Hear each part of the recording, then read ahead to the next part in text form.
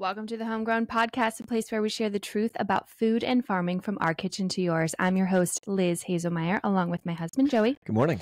And together we hope to educate, inspire, and equip you in your pursuit of true nourishment. Today's recording is very special. It is our first ever real food Mm. journey, episode number one of the series with Sam and Brett. Welcome to the show, friends. Morning. Hey guys, How are you? We're so excited you guys are here. Thanks for having us. Yeah, glad to be here. As a quick recap, if if you don't know what this is, Mhm. we sent out a survey to all the folks that are in and around the homegrown community, people that are out there just, you know, doing things every day to help themselves Yeah. live a more nourished life. Mhm. And we said, man, we would love to bring some of y'all on to share some of your stories and lesson learned. And that's what today is. And Mhm. so Sam and Brett are, we even said it before we hit record. There's a lot of ways that they're ahead of where we are. Totally. So I see it as something where I'm going to be able to learn a lot, and I'm excited for that. But also, I hope that there's, I, ho- I hope that there's uh, things that anyone that's listening to this can relate to, Uh-huh. right? And and it's great to hear from experts, and we're going to continue to do that. totally. But also, sometimes it's man, there's things that I'm doing with my life, challenges, and, th- and it's like, man, so and so that has you know fifty thousand acres or hundred thousand acres of farmland. I don't relate to that. Or it's you know so and so is you know has all these degrees and all this and i don't relate to that and that's okay and this that's that's that's uh that's that's what we're into. So Yeah. want to jump into this. I'll kick us off off here. Um so brett and sam super stoked to have you all on and i wanted to kick it off by getting to know you a little bit where where it all started. So where you grew up individually so take turns and who wants to talk first um, and then we're going to talk about some of your like early food awareness as you were growing up Experiences, yeah. and then we'll we'll uh, we'll converge into when you guys meet share as much or as little of, of that experience as you'd like um, and uh, we'll go from there You want to go first? Sure. Go. So I grew up in Southern California with my parents. Uh, I grew up on mainly the standard American diet, but I would call it the healthy standard American diet. Um, I feel like our family was unique because my mom made a lot of homemade meals. We never, we were just saying at Thanksgiving dinner last night, we barely ever ate out, but that was mostly from a fiscal standpoint, not necessarily from my health standpoint. Mm. But overall, my mom um, made sure that we were around the table every night for dinner. But we definitely followed um, the recommendations of the day that you know everything needs to be low fat. So we had skim milk and margarine and all those delicious ingredients in our in our meals. Um, so I thought that that's what was healthy, you know. Mhm. And I was also always on the thicker side as a kid. Mhm. And so I'd say starting in about middle school, I was just kind of on that roller coaster of dieting, you know, even as starting, you know, from 12 years old. Oof. And so, you know, I, you know, it, whether that was counting calories or it was doing like meal replacement drinks or eating that spongy. Did you ever have that like 90 calorie bread that Mhm. literally tastes like a sponge? Mhm. i never had this what is this Yeah, because you're a boy. okay is that why Yeah. well what was it It's just really low cal. Like every slice is what? Yeah, 90 It's calories. 90 calories a slice. like yeah. like a cellophane wrapped Yeah, bag of sliced bread, bread. that was 90 calories a slice okay Yeah, it looks like your standard loaf of bread, but Sliced oh yeah, it just it tastes terrible. Um, you know, and I and I have no like ill will towards my parents because they were Okay. doing the best. Mhm. They they were living the healthy diet and nourishing our family by the recommendations at the time. You know, Mm, because this was really before the real food movement became a bit more mainstream. Yeah. Uh, so yeah, that's how I grew up, and it was hard because I loved to eat, and you know, with all the homemade food, that was you know helpful from that standpoint. But with uh, yeah, with the low fat and with the dieting, it made it really hard. You know that that fight within myself of you know I, I love to eat, but Mhm. you know I'm always fighting not to eat too much. You know, Mm-hmm. uh, I don't know how far I want to go. Uh, Go up until we like get married. Okay. And so I, I guess the first time I really, I was generally a pretty, you know, even though we kind of did the standard American uh, medical system, you know, I was vaccinated all the way through. um, standard doctor's visits, just treated everything with whether pharmaceuticals or over the counters. It really wasn't much natural remedies in our household. Uh, so when I hit puberty, started having my cycle, um, I started having very heavy cycles in my teenage years. And so at some point, I went to uh, the doctor about that. And I got diagnosed with PCOS. Mm. Um, not from, from what I understand now, is you need more of a metabolic panel to really truly get diagnosed with PCOS. All they did for me was they did a I mean, they might have done more than this, and I just don't remember. Uh, they did an ultrasound of my ovaries, and I had cysts in my ovaries, and they're like, "Well, you have PCOS," and so sent me to the gynecologist and said, "You need to go on birth control." And I said, "Well, I'm a bit concerned because someday, what what do I want to do when I want to have kids?" They're like, "Don't worry about that. That's down the road. We'll deal about with that when the time comes." Uh, and so it's like, oh, okay, I guess this is what we'll do. And so I got on, you know, birth control as when I was what, 14. Um, and even that, you know, even not growing up in like a quote crunchy household, like I never loved, you know, being on this conveyor belt. Mm-hmm. And so at a certain point, um, I did pull myself off of that um, and just kind of dealt with that until I started having cystic acne. And then in college, I went back into the dermatologist and they said, You need to get on birth control. I said, Okay, is there anything else I can do? Nah, you need to get on birth control. Wow. and so, and it was just so frustrating because I, there was a part of me that was like looking for another answer and no one could give me an answer from the medical system. And that was mm-hmm. frustrating because it's like it, you guys are the medical professionals. Mm-hmm. you guys are should be the experts in this right? Uh, and i just wasn't given any you're like no other options. No other options yeah, yeah. and so and you know and along the way um, in high school i started uh, running marathons for a couple years and that was great for from the eating side of things because i could eat a bunch and because i needed to nourish myself in order to run run marathons and so that was really good for me. Um, yeah i guess what else happened?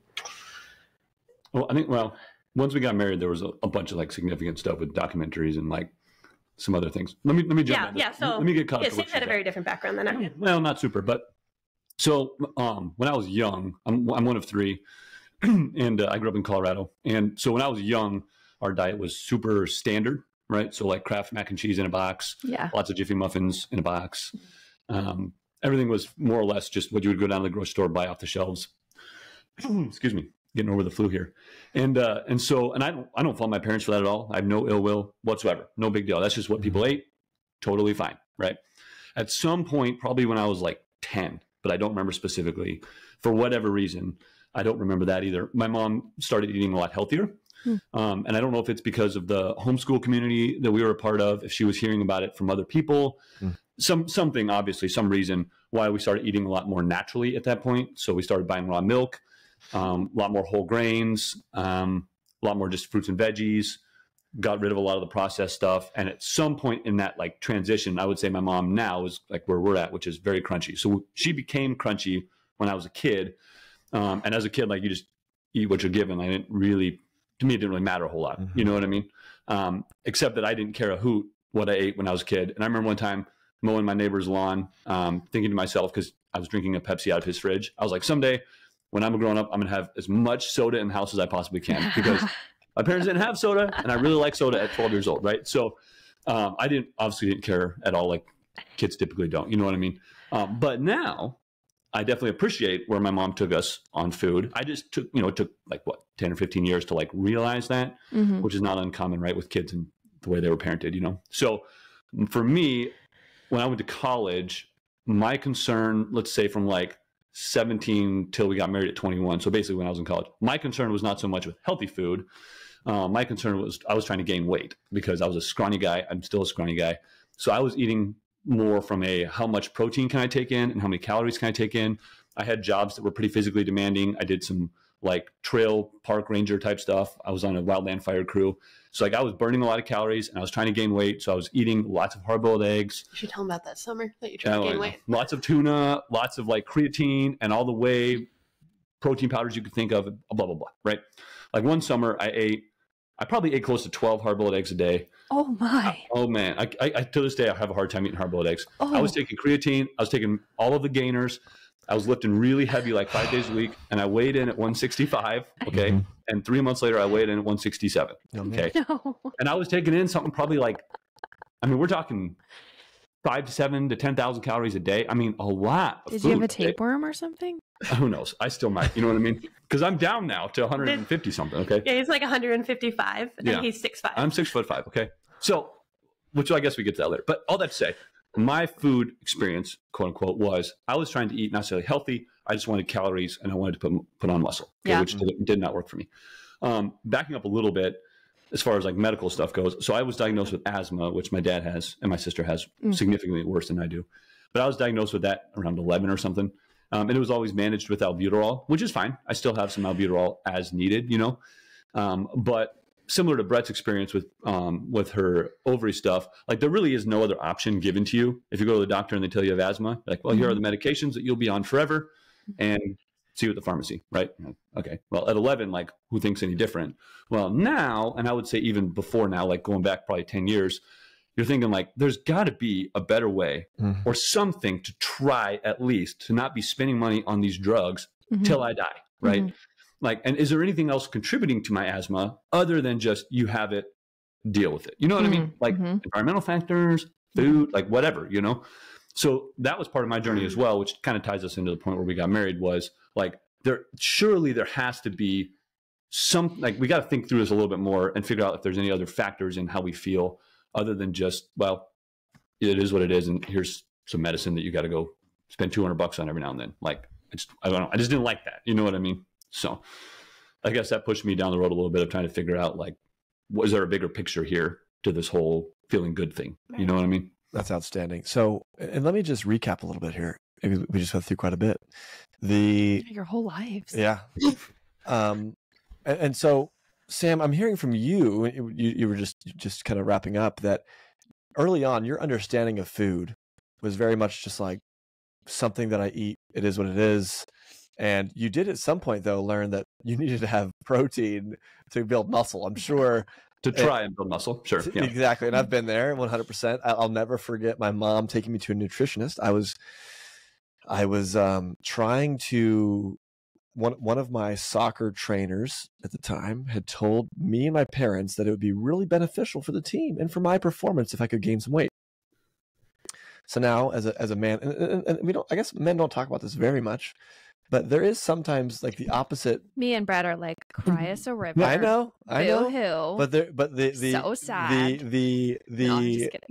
like the feeling that we sometimes get is we look around and like just like muscle definition and tone and and strength and and being like men filling out is like a very as you're when you're a boy growing up into a man Yeah. that is something that you want I to have it. happen I get it. Oh, yeah. anyhow and so when i was told by my soccer trainer that i should to be on par with the other guys on the team it's a very like vulnerable state to be in Sure. and uh, I'll never forget getting out of the nutritionist and the and um, he told my mom and me I needed to be eating I, and I was not six five and still not let's be clear um, I am 5'11", six foot if I'm lucky or if I if I fudge the number right Stretch.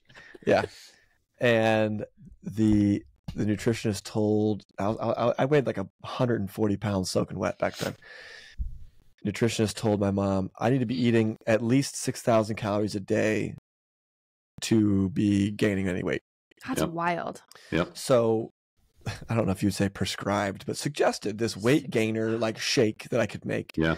And I would mix it in with like milk and heavy cream, Yep. and it was like it was like 1,400 calories per shake. Oh. Yep. and I was doing that. And then, like, so if you think about it, I think I did the math, and it was like a, a whole Chipotle burrito was like 1,200 calories Yeah. with the tortilla. Uh huh. And so it was like, I, I did the math. I'm like, geez, ma, like, I have to eat like almost six of those a day to make this thing work. Meanwhile, me and Brett are eating 90 calorie slices of Right. bread. Anyhow, um, I relate. I totally get it. I was with Sam in that 100%. I totally resonate. I could not gain an ounce of weight. I just couldn't Right. figure it out. It's crazy. um it, it just it would not work for me and uh it, it is what it is now i want to now so so if one i want to pause drop a pin there because this is about you not me is there any other un, like is that the extent of what you would say early on your understanding of food looked like Well, uh, so speaking for myself, I would say, I mean, as I grew older, like I, there was an awareness that like my mom was making these food decisions for a reason, right? Mhm. Um, so like I began to realize like, yeah, there are categories of food. Like there's clearly junk food. Mhm. There's like regular food that's probably not a big deal, and then there's like super healthy food that doesn't taste very good, in my mind at the time, right? Like lentils and brown rice. Yeah. Um, but most of the food I would say fell into that middle category for me, which is like it's fine. You know what I'm saying? Um, and my mom was a good cook. Let me establish that as well. So I'm not saying my mom didn't cook good food, like tasting food, right? Um, so it wasn't like my mom made healthy food that didn't taste good. I don't want to draw that as a one to one because that is a common misconception, right? We should get into that at some point. Mhm. But um, for me, I think I just saw most food as like it's not as big of a deal as we probably think it is. It's not McDonald's, but it's not like you know raw kale and everything in between is fine, right? For the most part. Totally. And Brett is the same. So for you, I don't think we, we got there as much as, as we did with Sam. And so what would, what did you, what would early on your understanding of food, how, how would you define that? Definitely more from the calorie standpoint, you know, Mm. that, you know, more so than, you know, I guess that's even more broken down, you know, fat, carbs, and protein. I'm not even sure. I thought You were just looking at calories. You were looking at like, is it processed? Is it whole? Is it organic? Is it not? You were just thinking calories.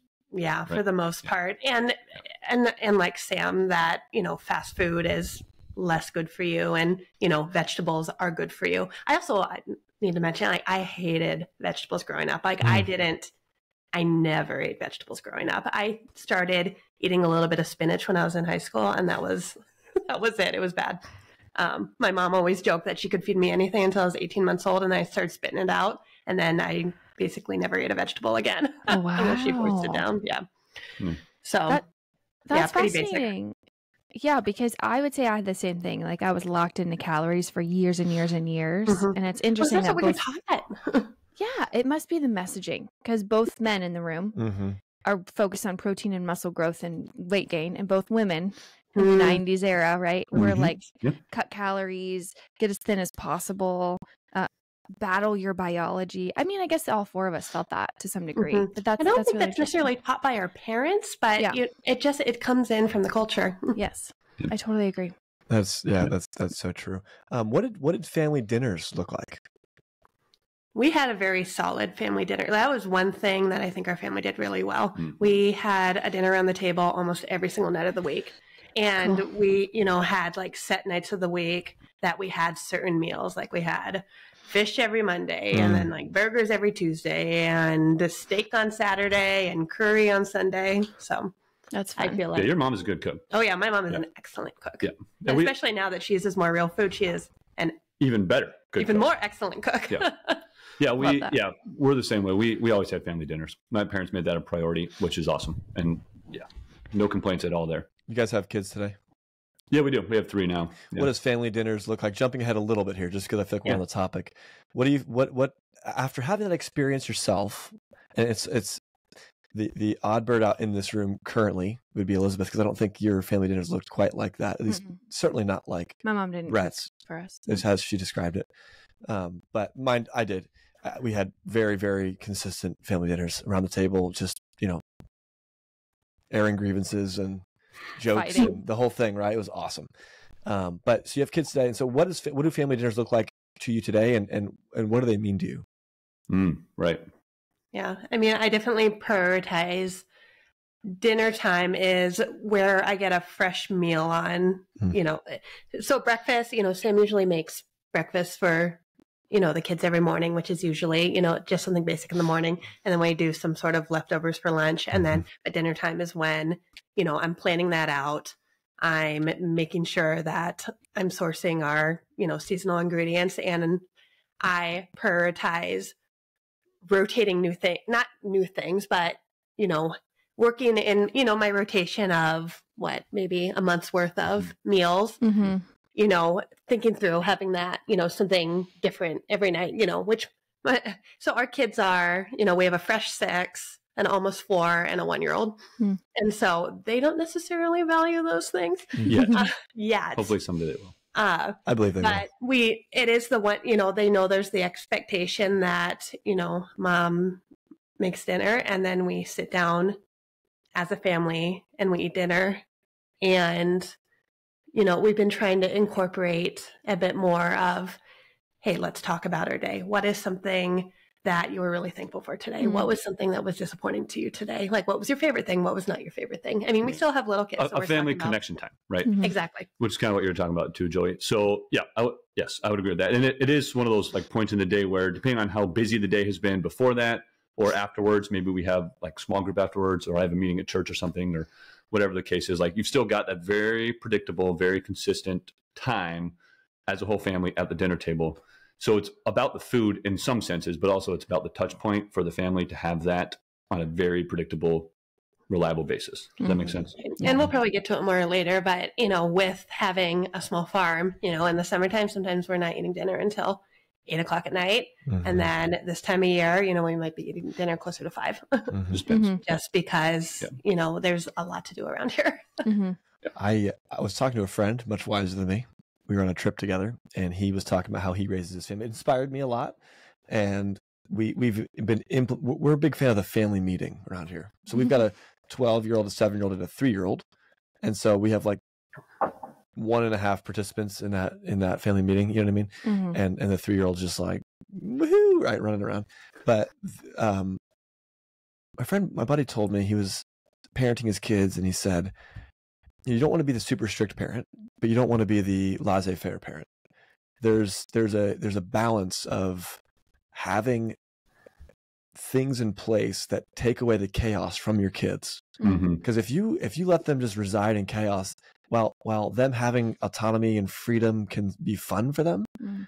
it's putting them in a place of chaos and that that actually is is harder for them and harder on them Yep. and agreed. so this Mhm. idea of having consistent bedtimes and consistent meals around the table can actually be more than just the family memories that you'll have you know in the future when you Mhm. get older although i think that is also awesome and a big deal but um anyhow i think having the the systems in place to eliminate some of that chaos can be can be a big deal so Yep, um, i love that so let's let's talk about how you guys met how'd you guys get together the uh you know where'd y'all meet So we met in college. Uh, we she looked at me like that because there's a story here. Okay. there was a story. brief pause. Yeah.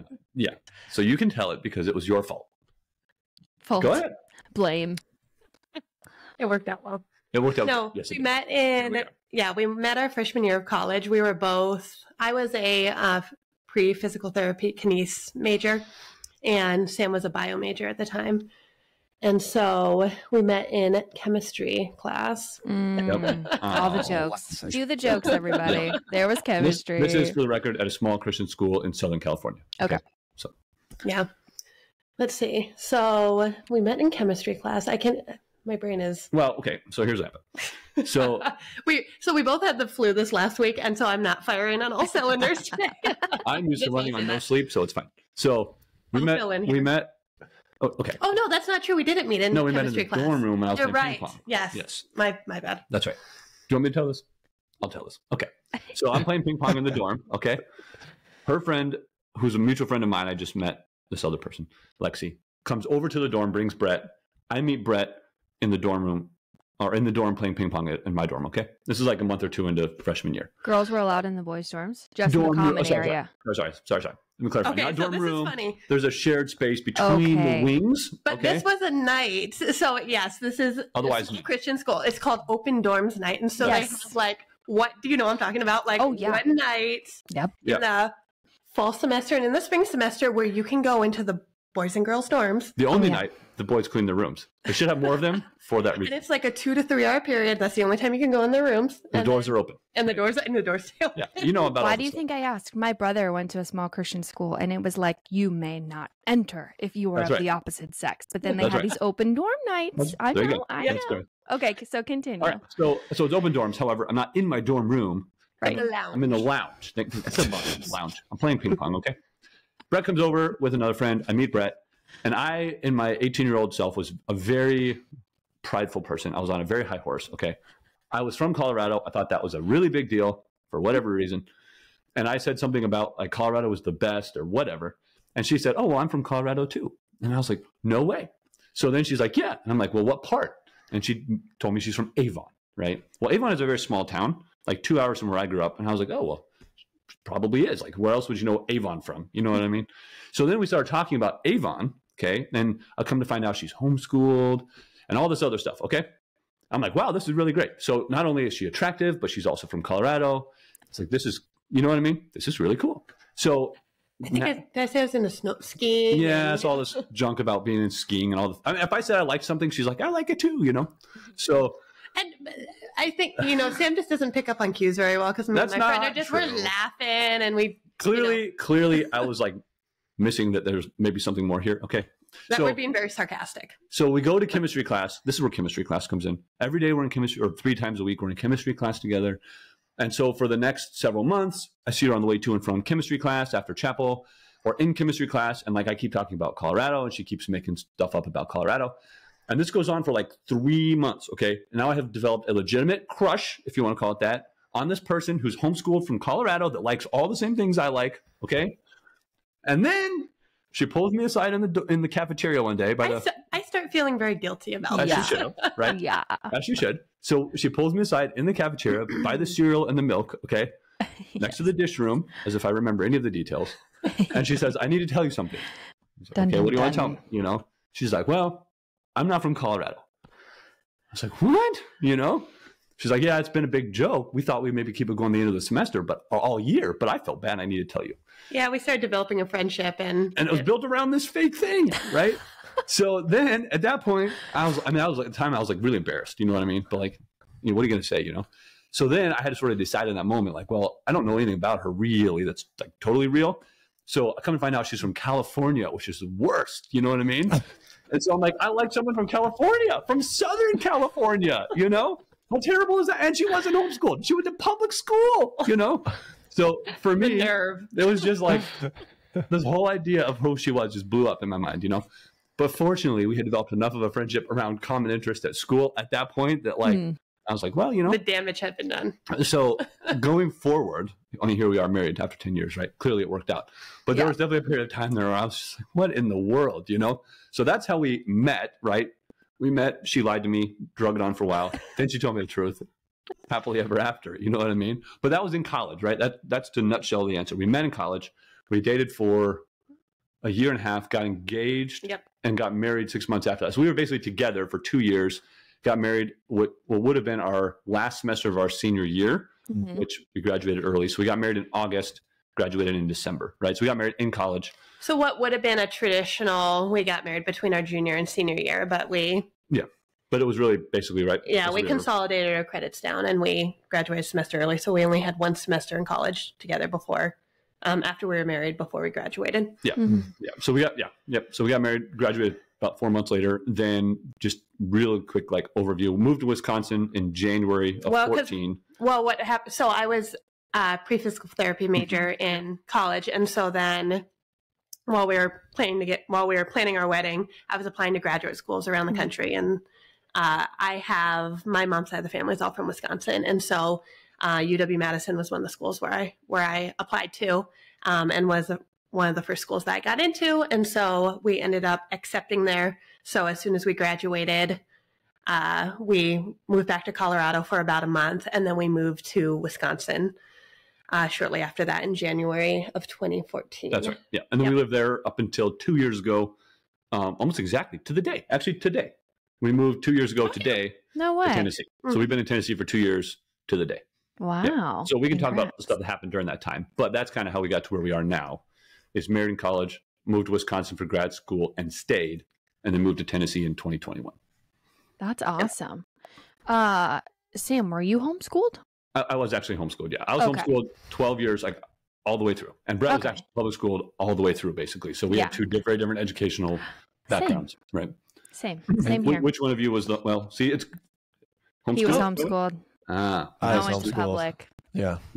Because Yep. you know my parents cared about my education. Yeah, yeah, it's it's crazy how that works, right? One My- homeschooled, one public school, and yet here we both sit today. I today. say all the time, Joey is the more well-rounded human being, It's not true. and I, it is true. Okay, And everyone it's the agrees. public school moms that are homeschooling our children. Yeah, we're like, sit down. That's so funny. Raise your hand if you have to go to the bathroom. No, I'm just kidding. I don't do that. Um, okay, so you guys met. You obviously you bring in all kinds of baggage when you get married. Everyone does, but you I want to focus on this food space. At what Mm, point right. in your conversations led you to buying a farm in Tennessee? Like Oh, yeah. walk us through how that even happened and how your food journey. I assume you were scrapping it when you're first married, as we all are. correct. Oh, you yes. know, Yes. you're like, Oh, let's get the cheapest rice packets at the Yes. store. Yeah. Walk Our- us through that. Our first apartment, um, you could actually see, like in our bedroom, you could see light in the corner. The walls Oh, were gosh. like properly made. It was a Oh, very, gosh. it was very basic, Yeah. shall we say? Mhm. Yeah, and we were on a shoestring budget, so we were eating like a lot of like ninety nine cent a pound, two dollar pound chicken and beef, and like Yeah. noodles. You know what I mean? Which is Mhm. perfectly fine. You know, And I wouldn't think that we needed to buy anything higher quality. You know, I thought Right. it was perfectly sufficient what we were. So obviously we weren't we thinking were- about like quality of food No. at that point. we were trying to like not go broke. Right. Right.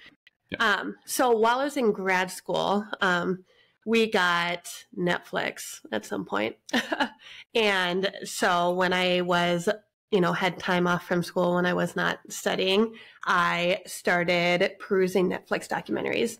And while doing that, I came across documentaries. I think the first one was Food Inc., um, which Yeah. is kind of, I feel like one of the OGs of, Yeah. you know, the food documentary Mhm. world. And that was like eye opening for me. That was the first time I saw Joel Salatin. Um, that's the first time that I really heard outside of like PETA, you know, I'd Mhm. really hadn't heard anything um, as far as this whole, you know, alternative food space. Mhm. And so that was really eye opening for me. And so I was like, oh, that was cool. And so, you know, I started perusing more. and, And, then I came across Forks Over Knives. Have you heard of that one? Mhm. And so, and that obviously is very different than Food Inc. And so it's like, okay, Sam, we got to go vegan now. Yeah. so, you know, and, you know, so we watched that. And then, you know, I, at the same time, I saw, what was it? The Human Experiment, I think it's Mm. called. It's, that's more, um, talking about like chemicals in the home and everything. Business of being born. Business of being born. Yeah, that was fun for Sam. Did you watch that, Sam? Because I tried to get Joey to watch that, and he he I think turned I it did. off. I did watch that one. Yeah. Yeah, I did. Yeah, I did. Wow, I'm Yeah. impressed. It's like this is all done in like the 80s, kids, right? So Oh, okay. Yeah. Yeah. It's Yeah. it's a hard one to watch just because it's it's kind of old, you know. mhm. I mean, at the time, it didn't feel that old. I mean, very- now it probably feels. yeah, and you were soaking up all that stuff. Yeah, because this was back around close to 20, 16, 15, no, 15. yeah, probably 2015. Yeah. I mean, was it old? I don't, I guess I don't remember it feeling like that old of documentary. I don't know. point. It felt kind of 80s vibes for us, but Yeah. whatever. Anyways, okay, so you're watching Food Yes, Inc., which I'm is like watching- very much like You'll hear that one a lot industrialization from a of lot of food. people. Yeah. Yes. Um, and so, so I'm, I'm, I'm watching these documentaries, uh, and then, so we moved to Madison, Wisconsin. So if anyone's familiar with Madison, it's a very green city. So you have like a lot of like hippies from the 70s that are now, you know, That's where they live. yeah, that, and that are now you know boomer age, and they're living a very kind of kind of crunchy lifestyle. Um, but it's kind of like the liberal con- crunchy is what how Madison is.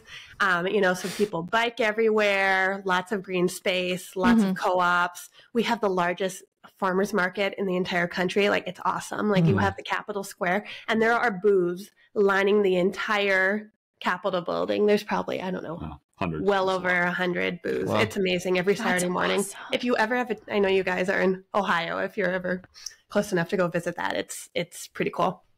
Right. Um, and so we're just kind of in this culture that prioritizes kind of more real food, organic food, Local. environmentalism, yeah, local. Um, and so we're just kind of, you know, drip by drip getting a bit more educated on what, you know, what true nourishment looks like.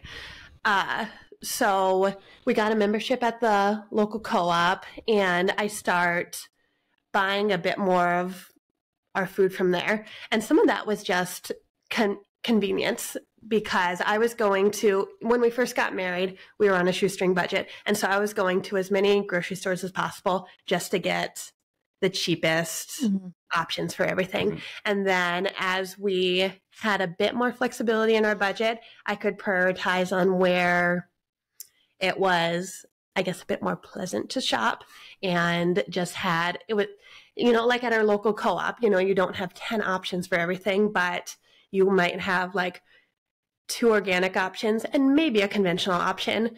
And it might not be the lowest price, but it's not horrible. Uh, so I started shopping at that co op more. I, you know, because it's in Mad in a city like Madison, even like our local our Costco has more organic options than Mm-hmm. say our Costco did when I lived in Southern California. You know, I'd go home and visit my parents and the same stuff that I would buy at our Costco in Wisconsin, they just wouldn't have the same equivalent. You know, they'd have a conventional equivalent in California Different market, right? different market. Right. And so we were just living in an area where the market prioritizes those those things more. Now, at this point, I would say too, though, like we're as far as the journey goes. Okay, Mhm. so like now we're talking about eating more organic stuff, eating more local stuff. I would say some more fresh stuff, right? But we're still talking about not necessarily a like really whole, real food type diet. We're talking about just more stuff is organic and it's not as bad. But like we're still Yeah. transitioning from like normal, regular boxed food to like what we eat right now, which we can get to that point. But you know, we might still be eating a box of mac and cheese, but it's Annie's mac and cheese, right? Which is better. Let's be honest. Mhm. But we're still talking about mostly things that have organic labels on them. Uh, would you say at this point, for the most part? Yes. I would say for a long time that was a journey for me, realizing that organic is not superior to local. Mhm. And that was probably only in the last Mm. five years where I've, you know, kind of realized all the baggage behind the organic label and just Right. just because something isn't labeled organic but is local, it doesn't, you know, that the nutrient density of that food can be greater than an organic food or definitely an organic box food, you know, that originates from, you know, the depleted soils of California. Right. Uh, I think one of the the books that I read that really started to pull things together for me was uh, In Defense of Food. Mhm. It was a By Michael, Pollan book. Pollan. Yeah, he really he talked about how you have all these different cultures around the world that eat very different diets, but they all are very healthy. And he talked about how, you know, in the in our western culture we break down food into its core nutrients Mhm. and we think about food, you know, kind of how I grew up, you know, I'm- we're thinking about calories, we're thinking about protein, we're thinking about fat, we're thinking about vitamins and minerals. But do we really understand that, you know, in some of these traditional dishes, like when they mix certain um, ingredients together, like, yes, you can break down like the chemical composition in a certain way and make certain conclusions about that and how it affects your body. But there's ways that like ingredients, whole foods work together in dishes and within our bodies that we don't even understand, that we are Mhm. just being very full of ourselves to believe that we understand the fullness of how food foods interact with each other and interacts with our bodies. You know what I mean? Right. Mhm. Right. So that that was like a big thing for us. Like she said, probably five six years ago was, and that's where we're at right now, as far as the way we look at food is, you know, whole food,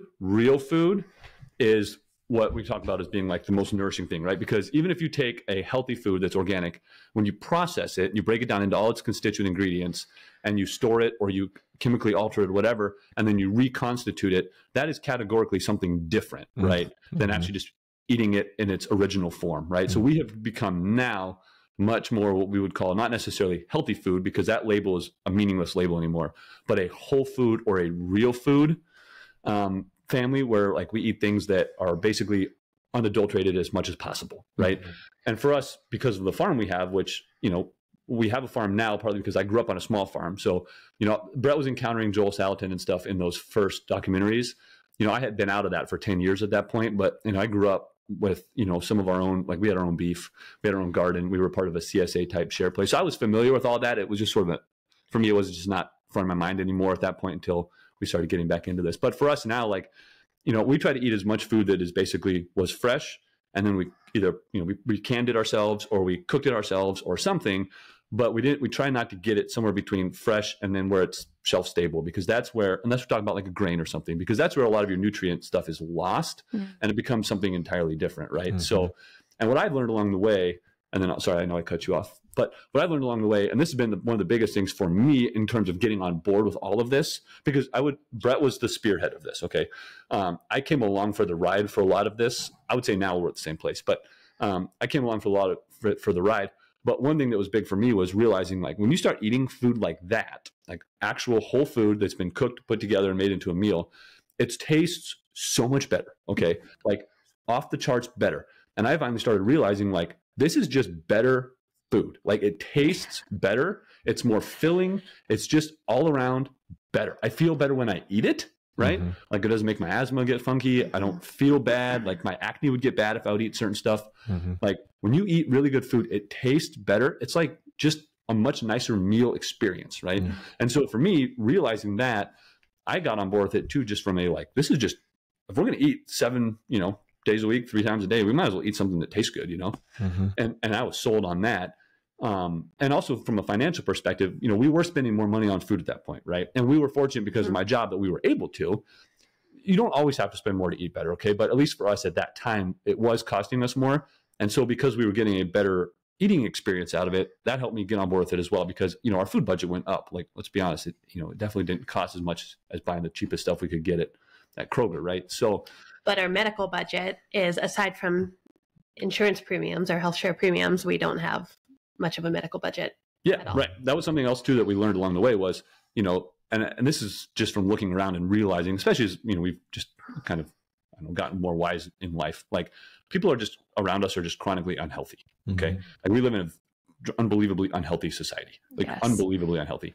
And you start looking at, you know, okay, what do we spend on healthcare as a society? Our food is cheap. Like Americans eat cheap as a percentage of our income Yes. it's very low devoted to food, right?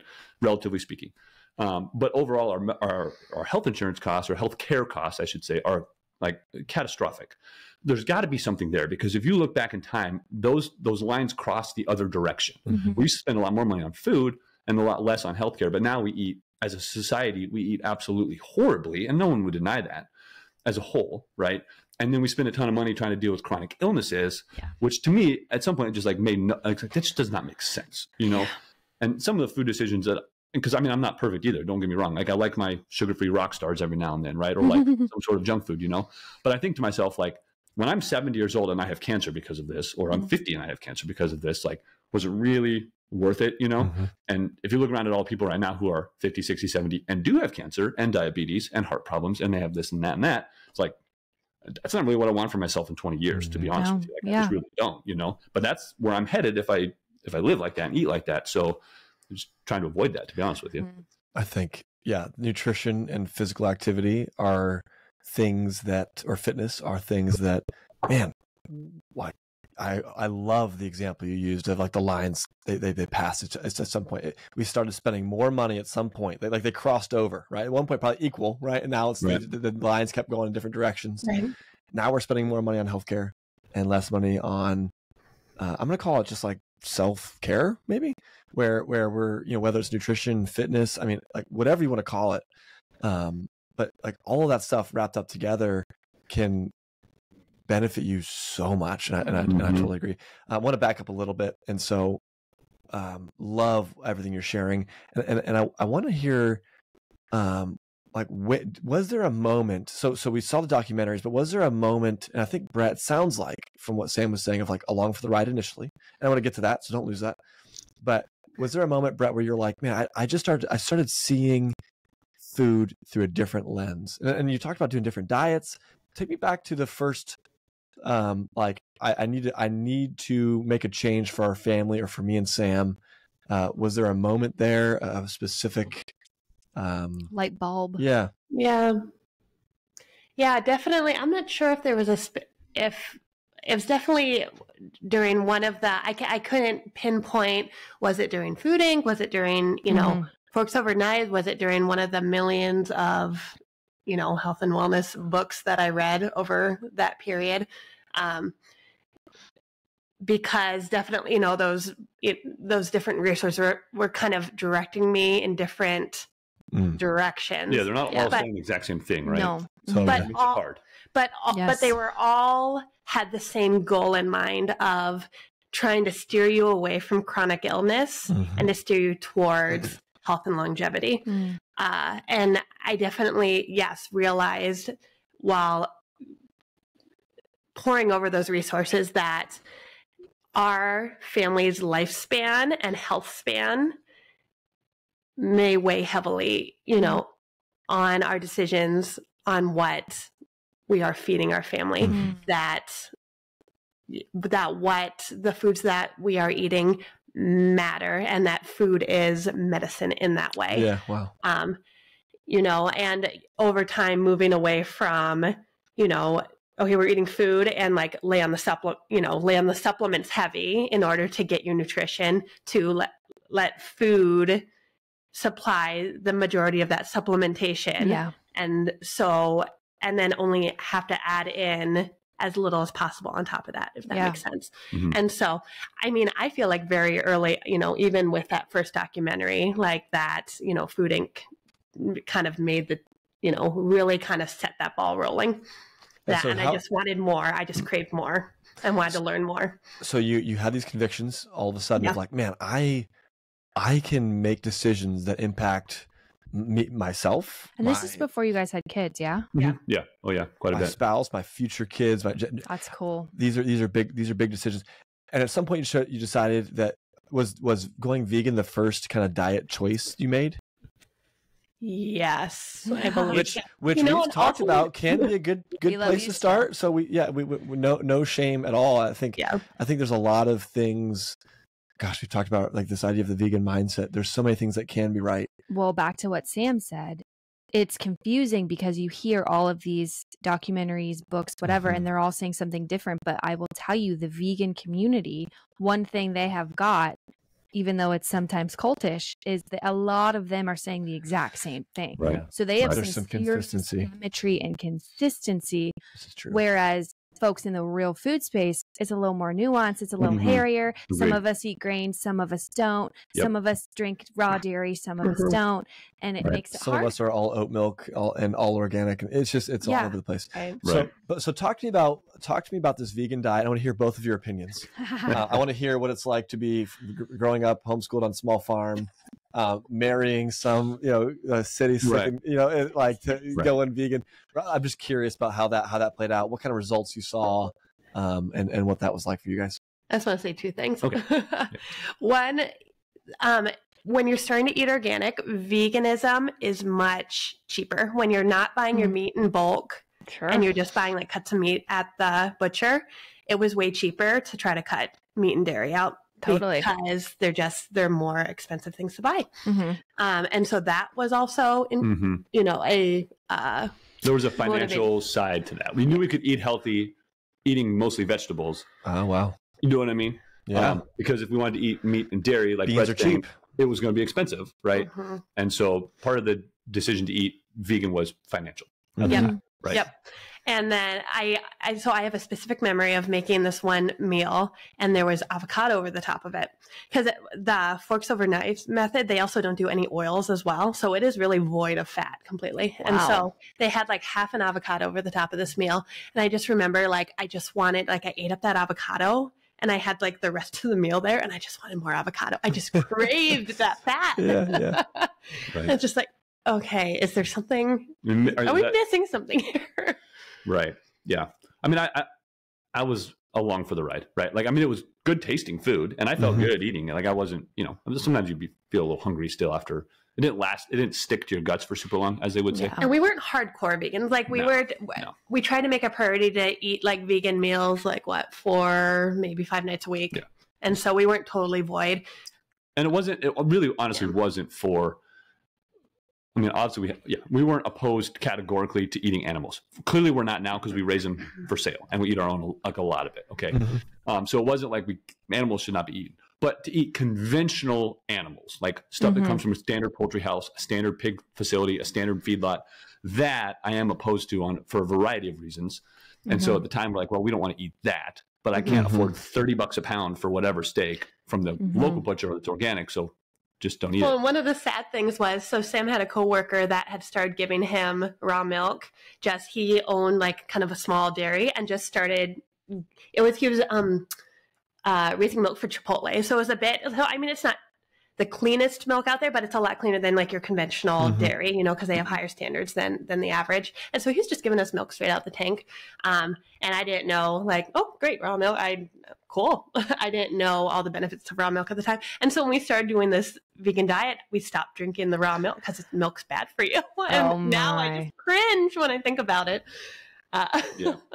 Yeah. But yeah, and so I think it we just kind of, kind of faded out of that just as I as I started again started reading more books and just realized like oh there's a whole lot of again like with the with Michael Pollan's book like there's a whole lot of different diets out there and it's there's not necessarily like one best that you know what I mean that that everyone in the world needs to eat Yeah, this way agree. for optimal health and there's enough people out there saying that how animal products are really important Mm. so Right, yeah.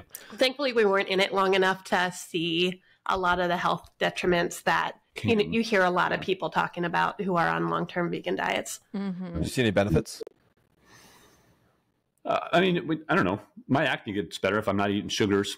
You i know, think just eating processed food, processed stuff and sugar. You know, so I think the benefits would be mostly just because it was real food. right? Yeah. You know, it all started out as a whole vegetable and got chopped up and cooked. You know, Mhm. so I could tell that right away for sure. Yeah, That's I- awesome. my skin was better. yeah we weren't like buying processed vegan foods we no, were just making everything from scratch, right? Yeah. That's right. huge. So How long? How long were you Oh doing that? man, shoot, I don't know. oh man it's amazing how the years blend together now I don't even know. Couple Less than a years. year? Oh, a Yeah, few be- years. Maybe, maybe. Ah, that's probably too long. Probably a year. You think One- so? It's all, it all, it just, it just blurs. Like there wasn't hard lines where we like stopped this and started that. It it was just while so i was Okay. in ran grad together. I was in grad school for three years, and so it was maybe yeah, maybe a year and a half to two years while I was in grad school. Yeah, Yeah. that's a What- long time. What did that transition from vegan to whatever? What, what, what was next? How'd you get there? Like, what would that look like? I think you were just learning more about the that animal mm. products are not all bad categorically, right?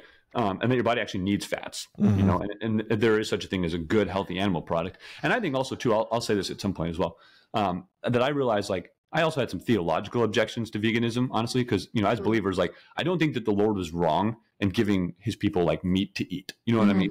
Um, and and like I think I, you have to be careful there because like uh, like it is it's okay to eat meat like if I mean clearly we have some objections to how some meat is raised, but just as a category, all meat should not be eaten. Period. Like I I, I can't see that biblically, right? Mhm. Um, so that was that was something that I kind of you know I had to, I had to think through that a little bit as well. That was part of me realizing like this can't be the whole picture. You know what I mean? Um, and something I want to say real quick while I'm thinking about Joey, because you kind of alluded to this, is like where did you start? And I would say for someone who's listening to this um, and thinking like, okay, this seems overwhelming to like my diet is this, and now you're telling me it needs to be some totally different, right? So let me just say now, so make sure we say it. If you're talking about getting into better, healthier food, the easiest thing to do is like start with the low hanging fruit, no pun intended, and just cut out the junk. Okay. Like that's just basic stuff. Like if you're eating a candy bar every day at work, just stop eating the candy bar, you know? And I say that like it's easy. I get it. It's not necessarily, but like at bare minimum, before you start adding all the really healthy stuff that seems overwhelming, just don't eat the junk, right? Mhm. Start with that. Then you can work up to things where like, okay, we used to eat it out of a box, but now we're gonna we're gonna make it instead one day a week, and maybe we'll try to do two days a week in the future, right? But literally, you got to start somewhere, or you will not start. But start with the easy stuff, and then just move into the harder things as you go. It doesn't have to be like a cold turkey thing, but there are some things that you can stop doing. Like I quit drinking sodas and stuff like that, Mhm. and I started drinking sparkling waters, Mhm. which are you know relatively speaking fine for you compared to a Coke, you know yeah. and that was i felt better doing that and it was clearly better for me and for my teeth right i don't want to pay for my own cavities we don't have dental insurance so just not drinking the soda saves me two bucks a day and also i feel better so that's a great starting point you know what i'm saying Yeah. so for anybody who's kind of overwhelmed just pick the low hanging fruit get rid of the junk and then ease your way into the other stuff it will come with time right it will come with time Mhm. Yeah, and I'd say over the same period, we started that work share at Yeah. yeah. Yeah. So it, Yeah. it's it's funny that Sam grew up doing a lot of the things that we are doing now, but just didn't ne- necessarily carry those into his adulthood as a Yeah. birdie. But he had those in his back Those roots. pocket, you know, in Mhm. his roots. Yeah. Um, that really, I think, serve us well now. Mhm. And so uh, I think, yeah, at a certain point, his mom really wanted to buy us like a CSA share for a summer. Mhm. And so while we started looking into CSA farms for the first time, we discovered there's this whole work share program thing. And so we found a farm that was 30 minutes from where we lived. Uh, this was 2017. This is when I was pregnant. This was when I was pregnant with Yeah. my our first daughter, and uh, we started working there for two hours. We both worked for two hours a week, so four hours collectively. Um, and then we got um, for the over the course, excuse me, over May to October, and when we got and we got a box of produce every week for Mm. our time, and we worked there Till we until move. we moved. Yeah. Um, and they moved away from a box system and then just gave us credit um, after that first summer. And so then we got tons of free, organic, I mean, locally grown. Free for our time. Right? Yes.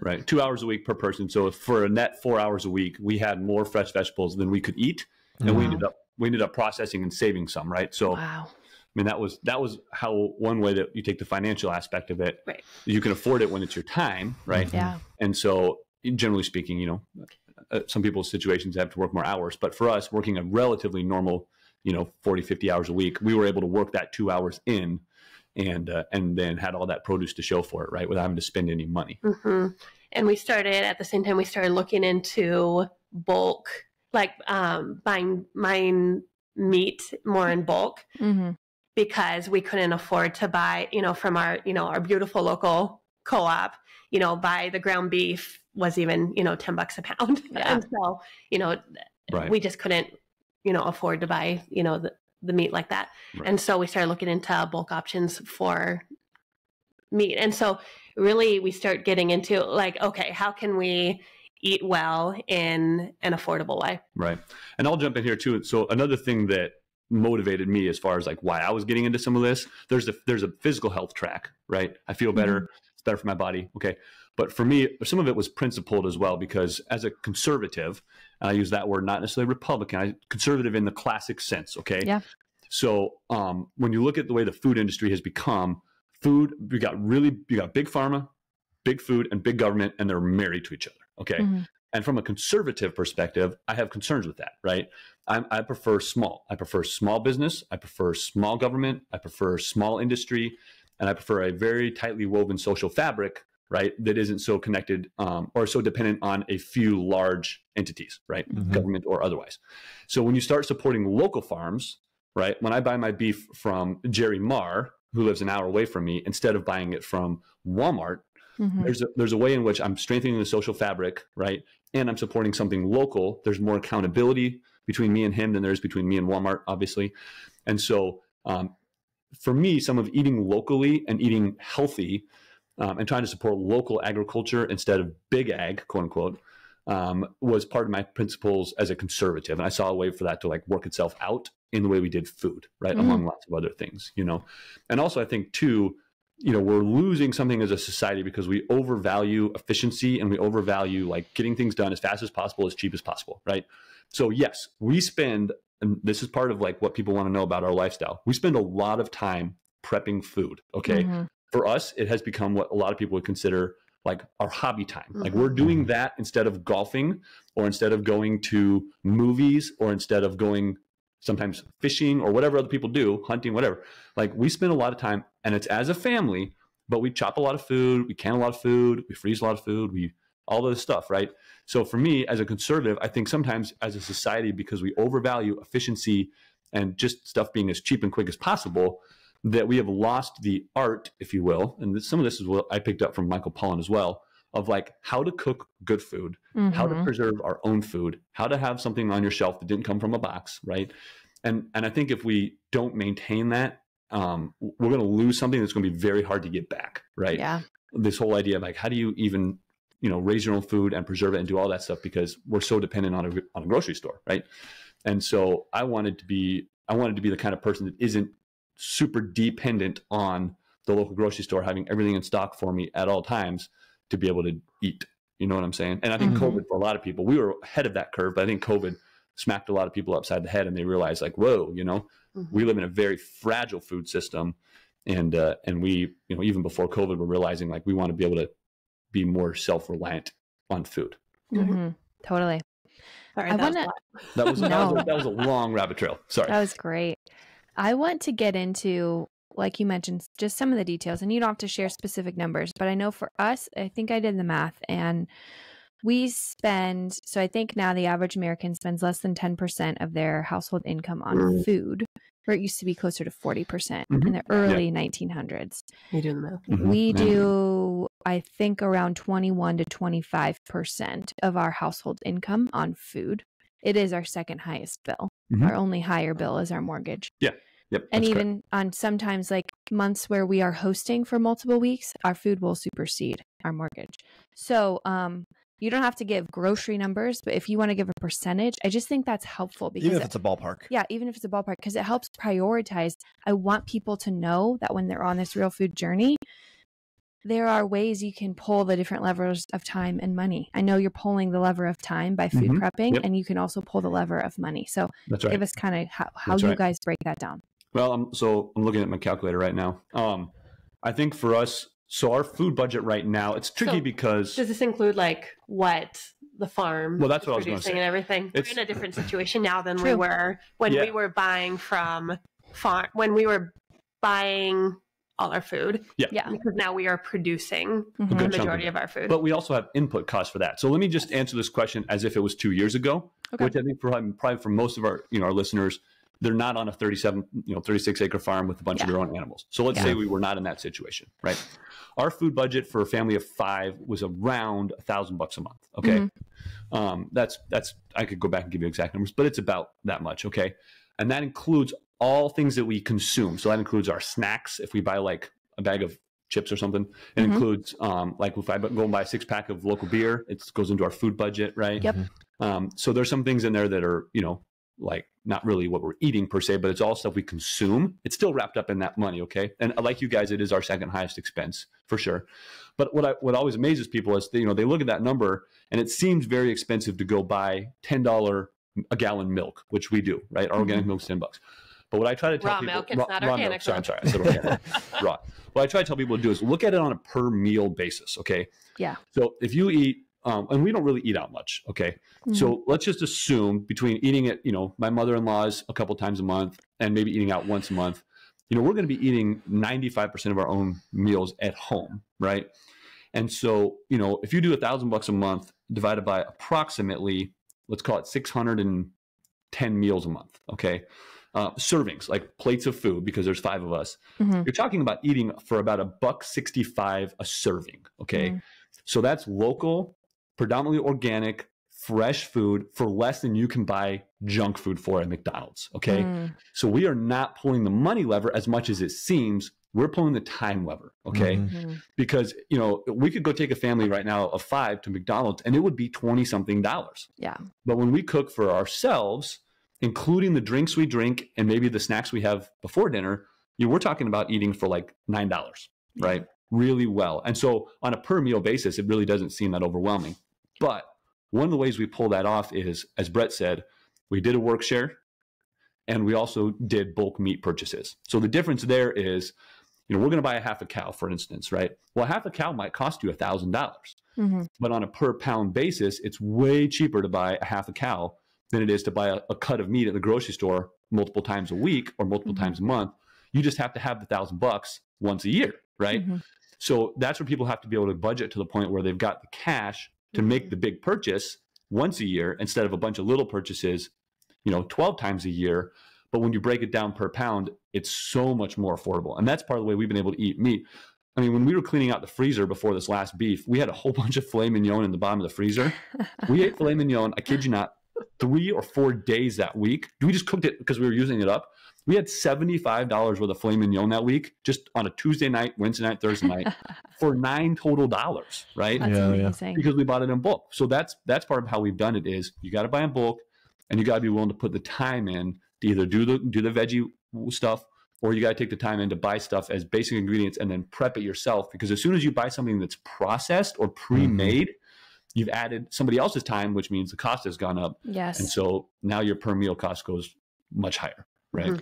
It was Yeah. really humorous when we moved from Wisconsin to Tennessee. We have one, we have five 5 freezers. good size freezers. So that was our condition for any moving company that moved us. It's that you need to be able to move our five full freezers of meat.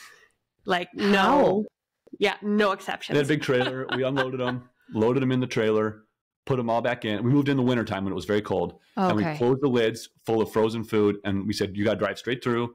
And then when we get there, we'll immediately unload them and plug them right back in. Right. And so I wanted Jeez. them, if they had stayed overnight somewhere, I was going to make them plug them in wherever they stayed. But they said, we'll drive straight through. And, uh, and then we just won't open them until we get there. It was like 12 hours. So it was not a big deal. But yeah, we have five freezers. And, and that's one thing that, you know, some people don't have this. In our apartment, we did not have the space.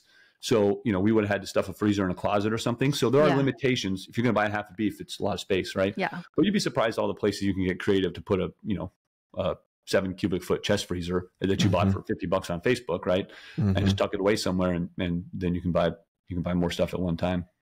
The time versus money matrix is something that is you guys have clearly really figured out, and it's so cool to talk to somebody that's.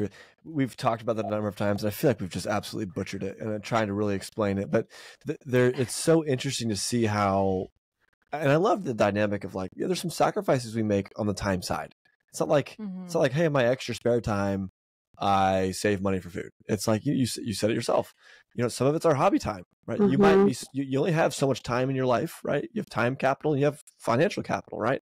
Yep. And I'm spending that capital where my buddies are going out golfing, or you know, hey, Right. like so and so's running out, they're, going out to you know.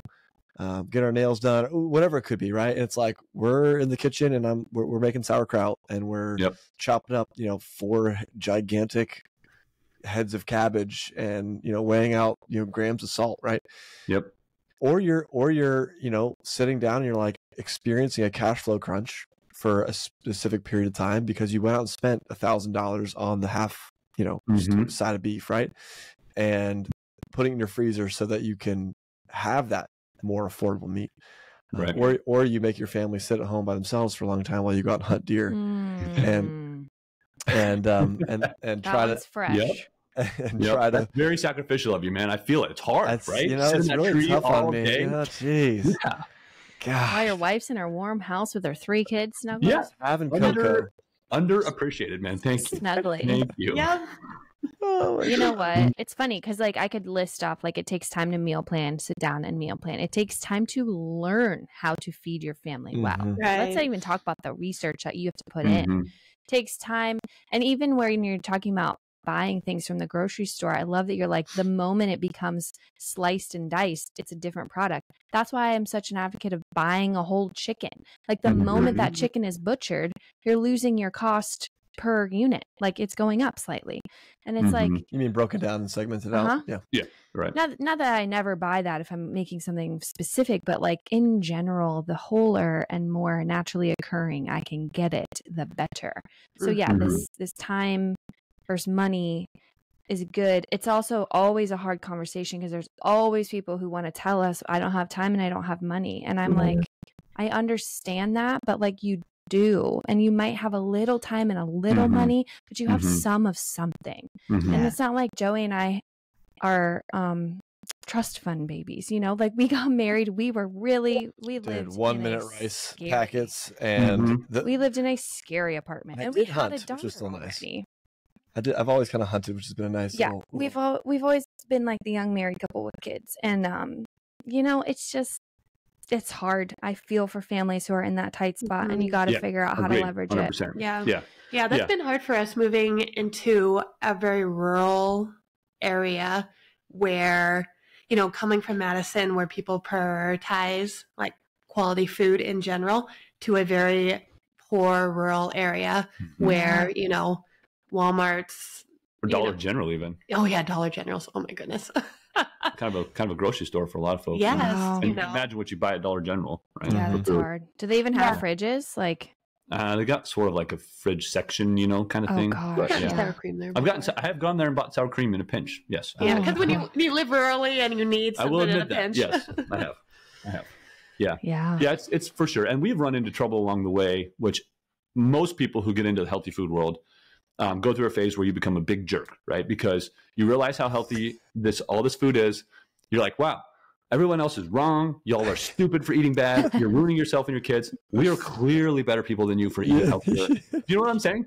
And so Yes. we went through that phase. We damaged relationships because we Mm. made dumb jokes Mm. about their food that they were feeding us at their house when they were busy and they wanted to take us in and show us hospitality. And we were dumb enough to say stupid things about their food. Wow. So lots of regrets in that first phase, right?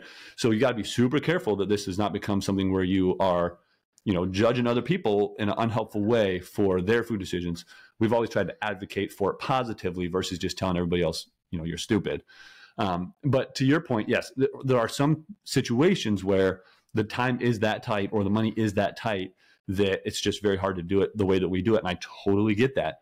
But um, there always there is always time, right? And Mhm. so some of that is becomes like a values issue. You know, like for us, we virtually watch literally like no TV ever, right?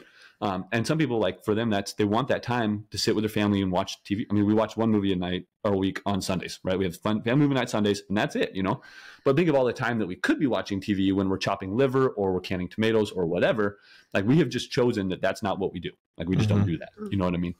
Um, and so there are things that you can give up that are sacrificial to make this happen. And some for some folks, like they don't want to go as far as we have, and that's totally fine, right? Mhm. But there's some ground in the middle there where Right. there is always time for what is important and and you know we make it a family experience right so like as a very concrete example i stayed home with the younger two last night when brett went to thanksgiving dinner because we're fighting the sickness Mhm. so during that time we were playing we alternated between playing games of mancala and chopping up livers like literally we would play a game of mancala and i would chop a liver and then we play a game of mancala and i would chop a liver.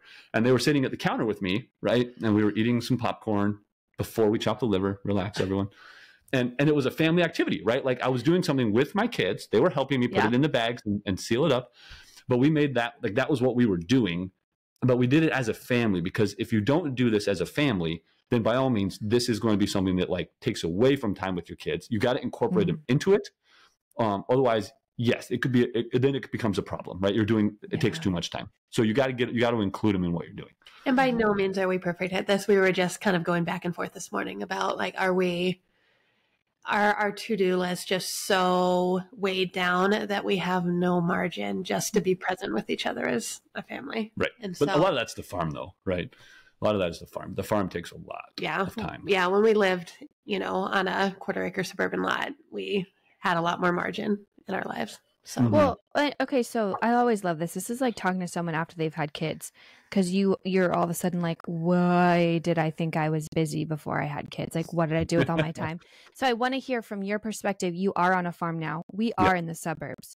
yep If you could tell yourselves to like an encouraging note of your suburban past life, what would you say? Of like, dude, enjoy the time where you don't have to go like feed the chickens or milk the cow or whatever. What would be your like Right. words of wisdom now that you're hindsight? You're looking hindsight. Well, you do have more time. It doesn't feel like it. You know what Yeah. I mean? And there's Mhm. always things to do. Don't get me wrong. Um, but you de- we definitely have more time, or we had more time to do what you wanted to do. Right? You Mm. might still be doing something productive with it. Like in Madison, I like to keep our yard up really nice. So I was like putting, I was always putting in edging and like trimming and weed. You know what I'm saying? Because Yes. I had the time and I wanted to be productive outside. Now I am forced to do things whether I want to or Ah. not because it's a farm and it has to be done. Right? Yeah. So I was still busy then. It's just I was selectively busy. Now I'm obligation busy, right? Mhm. So I would say, yeah, like you're going to get, if you did move to a farm, you would have less time to do what you want to do. So, you know, use your time well now, but know that you have more of it, you know what I mean, to pick and choose, right? Um, but busy on a farm isn't necessarily bad. It can be if you exclude your family, as we were just discussing, can be a problem. But if you bring your family into it, then, you know, it just means that you're doing farm stuff together versus going for a walk together. Like we don't hike as much as we used to. Like we used to go to state parks all the time and hike for the day.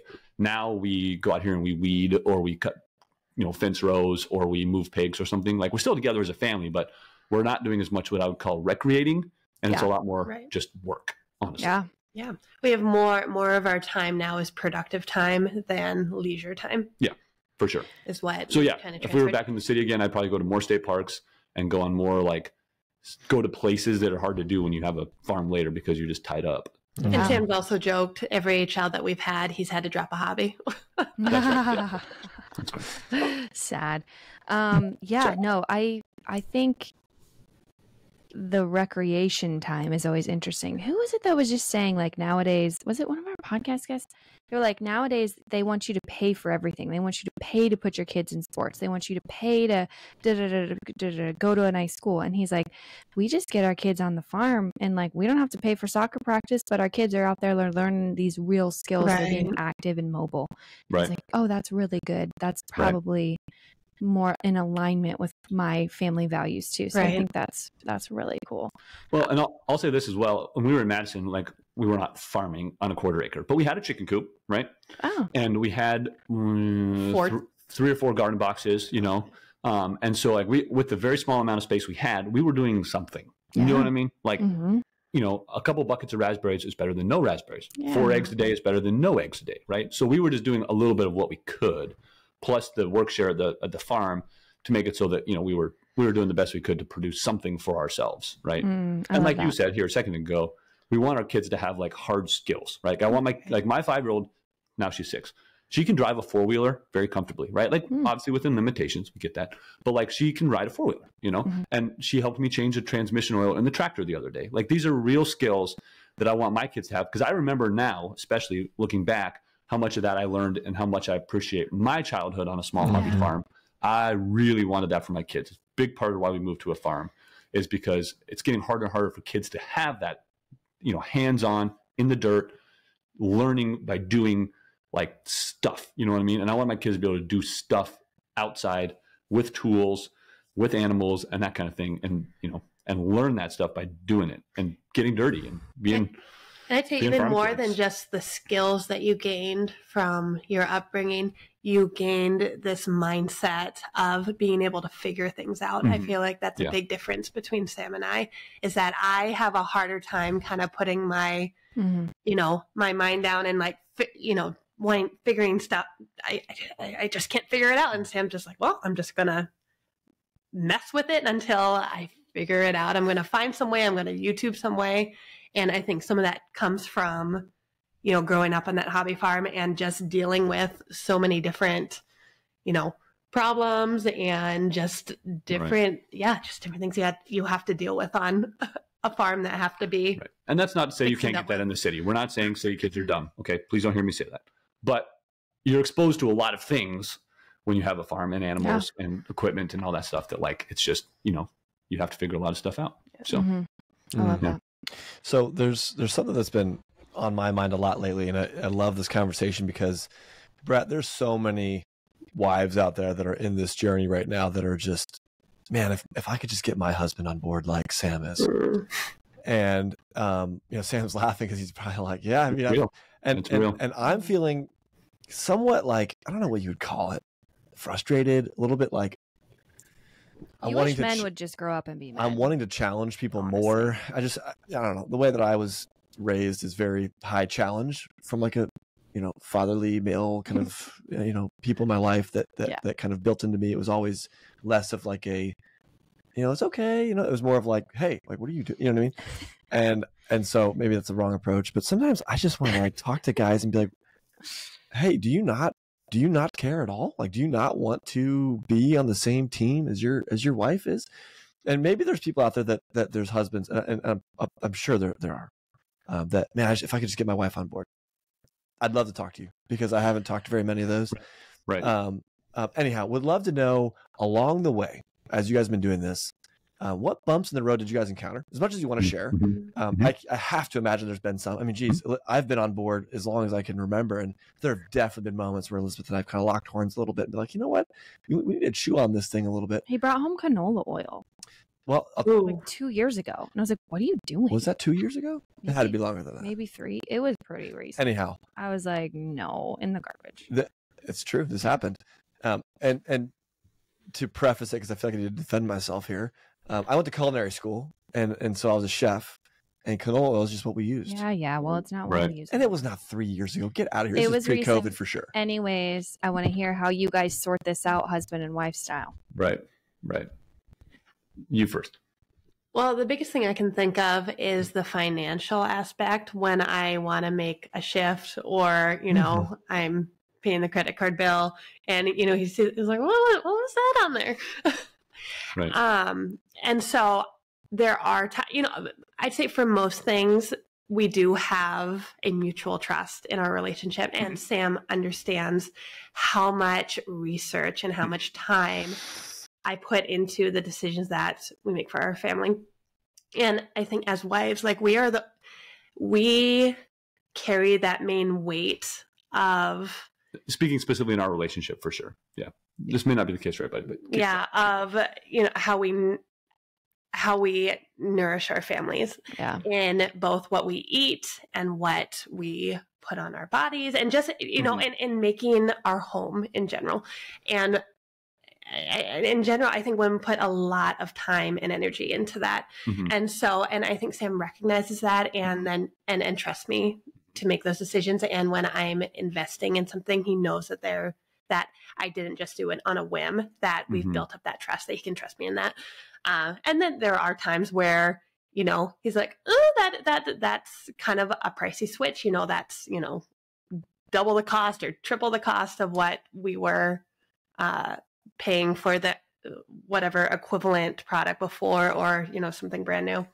and then i'll you know need to explain that to him and usually after you know i explain my reasoning he's like okay i get it Mhm. uh, and i wouldn't say it's very often where i mean I, I was laughing about your episode your emf episode on you were talking about the Somavedic i did bring Yeah. home one of those a couple years ago and that one went back Yeah, it was a pricey one. Yeah. Yeah. Yeah.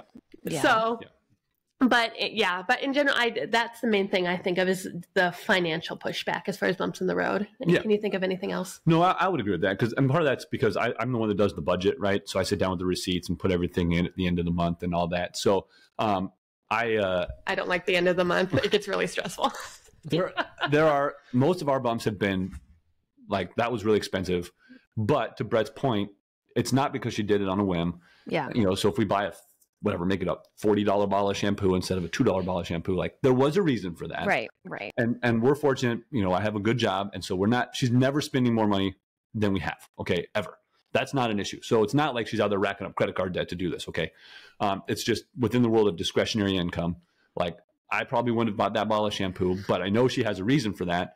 She she clearly thought it through and so i, I get behind on that you know what i mean um, and so for us it's been mostly financial but usually that's me just learning why after the fact versus you know um, talking it through in the moment and and I would say too, um, some of it, I think some of the push pull with us a little bit has been like in the world of health and natural food, like you could be and you could make like uh, an idol out of this and be, become like a control thing where you are Yeah. doing your best to live to 90 and be in perfect health and never die, right? Mhm. Well, we know that's not possible. And so you could make the, this thing where you become a bit of a control freak um, and you're trying to become immortal with what you eat and you ruin your family's lives and lives of people around you because you're, you're like, you're paranoid. Okay. Yeah. You can't be paranoid. And so there's been a few times I would say where I have had to sort of gently sort of pull back on Brett a little bit and just remind like, this stuff is important. We should try to take care of our bodies. It's a stewardship issue, Right.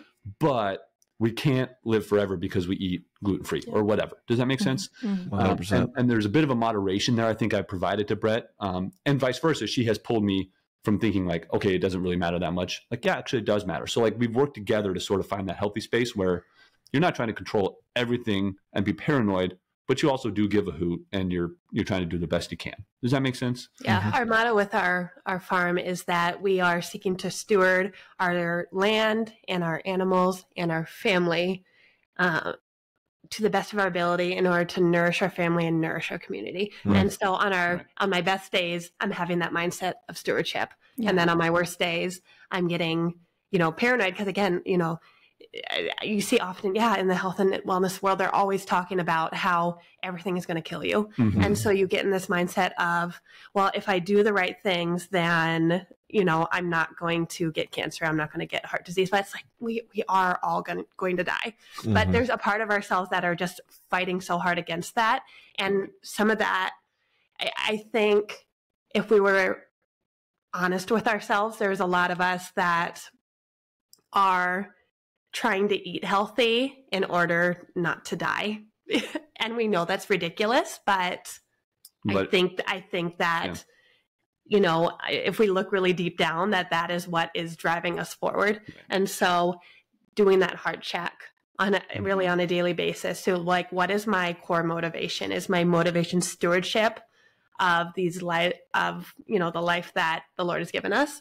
Or am I trying to make myself immortal Mm-hmm. By, you know, Right. the foods that we Right. eat or, you know, the Right. products we put on our body and Right. stuff You got yeah, you got to do the best you can without being paranoid, right? Yeah. I mean, I got a shop full of cleaning supplies like brake cleaner and 80 90 weight gear oil and all that Mhm. stuff is horrible for you, right? So like I come inside I eat healthy food, but like there's a bit of a reality check of like I can't avoid all chemicals ever because I have a tractor that takes Yeah. diesel, you know what I mean? Yeah. And grease, you know? So I, you got to do the best you can, right? And the, we Mhm. want to be as healthy as we can as long as the Lord gives us life. And whether it's when I'm 35 or 95, when the Lord takes me home, I, I want to feel as good as I can until then.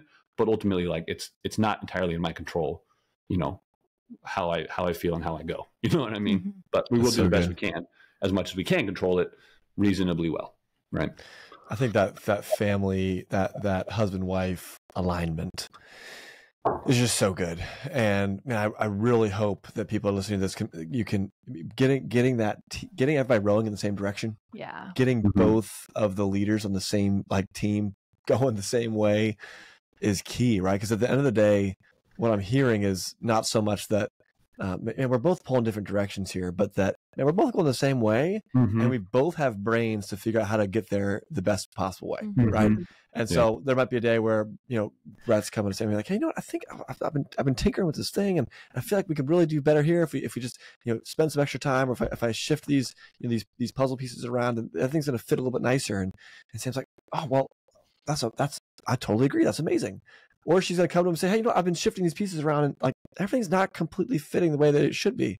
And because Sam's invested, he's like, hey, well, let's let's talk about that together, right? Right. Let's and, it's like you get extra eyes on it, and things go go super smooth.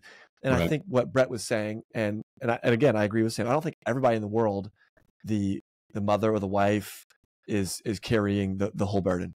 I think that does happen a lot. And but what Mhm. I would say is whoever's carrying that burden of nourishment and health and you know uh, like when do we make the decision to go to the doctor and when do we make the Mhm. decision to try to fix this on our own and when do we make the decision to um you know take the medicine or Right. or or you know buy the food that we, we weren't buy whoever's whoever's carrying that burden Right. man you, are you just letting them do that by themselves Right. Yeah.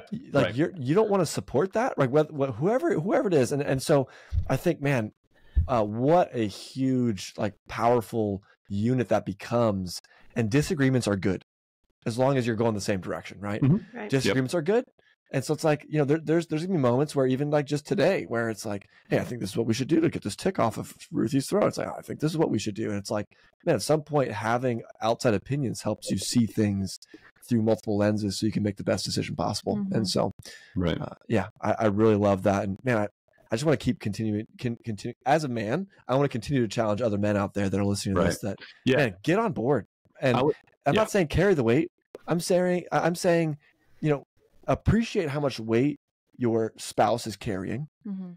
and everything she's doing for you and for your Mhm. family and what can you do to support it it doesn't mean just lay down and say yep spend all of our money you know to, to, that's not what i'm saying i'm saying i'm saying watch the video listen to the podcast read the book sit Mhm. down on the couch and have coffee together and talk through different challenges and situations and use your brain and the strategic input that you can give to make those things those options those opportunities those challenges make them better Right. What would you say to a husband who diverts to the classic phrase, just trust the expert? Mm. Oh boy. Because that's, Oh, man. which one? I which see one? that a lot. Which expert? And what? Any expert, expert the? FDA, the EPA, uh, the CDC, your doctor, your uh, whoever. Like, what do you say when the Right. wife is is leaning in to to Mhm. maybe Right. So that conversation? that was a struggle for me because there was a time where I was like, okay, so you're reading a bunch of mommy blogs, and now we're going to change our whole way of life, Mhm. right? That And is going to be more expensive. Yeah. So tell me more about that. You know, Not Um, reading mommy Um, blogs. that's how I felt in my mind. Okay. Do you understand I- what I'm saying? I'm glad you- good stereotyping. Yeah. That's good I'm stereotyping. Same. Okay. Yeah. So um, I would say, oh man, there's you could a lot unpack a lot here. So the question is, when I say which experts, there's there's a lot of experts, right? Are we talking about the experts right now, the experts from two years ago, the experts Mm. from ten years ago, the experts from twenty years ago? that's good. Because guess what? They all say different things. Okay. yes. And also, they're all financially connected to each other. And they've got a big interest in you buying as many drugs and as much cheap food as you possibly can. So if that's the expert, by golly, let's listen to them and keep giving them our money um, and still feel horrible, right? So I would say there's you got to think critically more like, and I'm not a conspiracy theorist, okay, and I'm not saying that everybody that works for Pfizer or everybody that works for Monsanto is out there to get you, but mm-hmm. let's be very honest about where the money is at and what are the incentives that those companies have, yep. and generally it's not your health, okay, it's um, it's profits, which is fine. I'm, I'm not a I'm not anti business, right? But let's just be honest about like what are they trying to do and how does that connect to your family's health and are they are they aligned, you know? And honestly like the data changes all the time, right? And so when we say talk to the experts about it, there's so much competing data and it's changing data that I it's just hard to say like, you know, just because the CDC says or the FDA says or whatever that something is healthy and good, that it's actually healthy and good. I just read something the other day about some ingredient in some soda that they said was just fine. The FDA did, and now they're like, actually, that causes whatever this host of issues was, and we're gonna we're gonna have to walk it back. Well, six months ago, you said it was fine for me to drink that, and now you're telling me it's going to give me cancer. So what gives, you know? Mm-hmm. Yeah. And at the end of the day, there's so much wisdom in just how things used to be in a very basic way. Like, you know, people for hundreds of years, thousands of years have been eating meat, eggs, vegetables, and being, for the most part, just fine, right? Like and, and all of a sudden now because we have all these drugs and we have all these special ways of processing our food and all that like somehow we're supposed to be better and yet we're actually not as healthy. So here we are the experts said and now we're, we're actually worse off than we were in a lot of ways before. So i'm just very skeptical that like the experts are as smart as they say they are to mm-hmm. be honest with you. And that their best interest is my family's health and you know so um, but i understand the i understand the argument because there's a lot of wacky information on the internet so just totally. because you read something on the internet does not mean jack squat okay mm-hmm. if it's reputable if it's validated if it's something that you know was published by a credible publisher that makes more sense to me than just a blog somewhere okay so there's this fine line between like the experts say over here and then like a bunch of crazy people say over here and where do you find this middle space of like reasonable data that you can work from right um, but a lot of it just comes down to some basic common sense of like, if, if you can't pronounce the ingredients and it's full of chemicals, it's probably not good for you, no matter what the FDA says, mm-hmm. right? And if it's a carrot and it's fresh and whole, even if the expert says it's not good for you because it doesn't have this or that enhanced vitamin or whatever, it's probably actually pretty good for you. It just came out of the ground 10 seconds ago, you know? Mm-hmm. So you, you got to find that common sense, reasonable middle space between the two extremes right? Yeah. Mm-hmm. Um, and to your point too, Joy, I, I, would absolutely agree with you on that. If your wife, because I agree, the ma- the vast majority of these journeys happen because the wife is doing something, you know, some research or some reading or encounters something, whatever, and the husband gets drug along.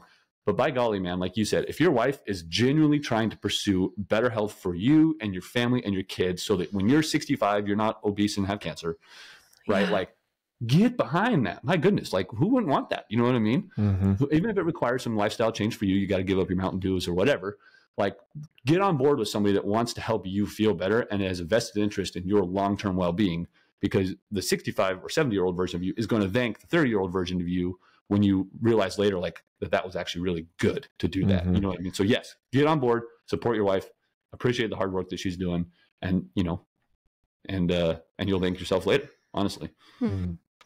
Let me just say for a minute too for the men because I think it's confusing why it's all very often female driven. I think Brett's story is a perfect example that in general, women are harmed by expert advice more often than men are, and from an early age. So, having symptoms mm. and immediately being put on pharmaceutical birth control, having a pregnancy and listening to traditional obstetricians, going through a birth experience in a hospital versus with a trained midwife um, in a natural setting, um, having children who are sick and you follow everything the pediatrician tells you and they're sicker and they're sicker and it's the wife, the mom in general, who is face to face with every single time that mm-hmm. expert advice turns around and slaps us. And then we are stuck by ourselves on an island, and everyone's just yelling at us, trust the expert. And we have to we have to be brave enough to say, listen, I did that. And it these are the questions I still have unanswered. So if you're my spouse, can you please go on this journey of answering these questions with me? Right. Because Right. that is why women have this intense burden because we have faced it up close, sometimes tragically so. We like people have lost children or we we've lost our own health or we it's just I really feel it feel for women in that position because that's why we're driving this ship is not because we just want to be rogue and be our own leaders it's Right. because we've been harmed by expert advice Right. and we are trying to get to the bottom of that Mm. so that's all Right. Yeah, we know our own children yeah the Yeah. best out of anyone. in Yeah, the world. Right, our own right. bodies my Yeah, yeah. goodness Yeah, that's yeah so. I would, yeah. To your point, if you're going to trust the expert, who is more of an expert on my three children than us? Especially my wife, who spends all of her time with them every day. Like, yes there's no way you could tell me that someone that wrote a book, who now lives in some other state 20 years ago, working for the CDC, knows my child better than my wife does. That's insane, right? Yeah. No matter how many degrees that guy says he has. So my wife is the expert on our children. If you want to trust the Mhm. expert, you can ask her. She'll tell you what we're going to do, right? Um, and so, yes, I 100% agree.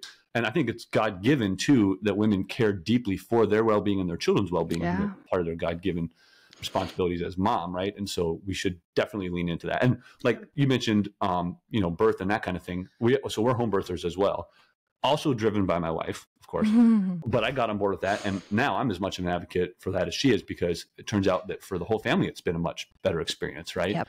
And so um, I think part of what COVID really highlighted this for a lot of people as well. But I think a lot of people, um, when they say trust what the experts say, it's what they're saying is trust the experts because you're too dumb to make a decision for yourself. Yeah. Um, and honestly, that's just hogwash, right? Like Mhm. you're not too dumb to make a decision for yourself. You might be if you don't think at all, but that would be your fault for not thinking, right? But like Yeah. you can decide things for yourself. You can figure things out for yourself.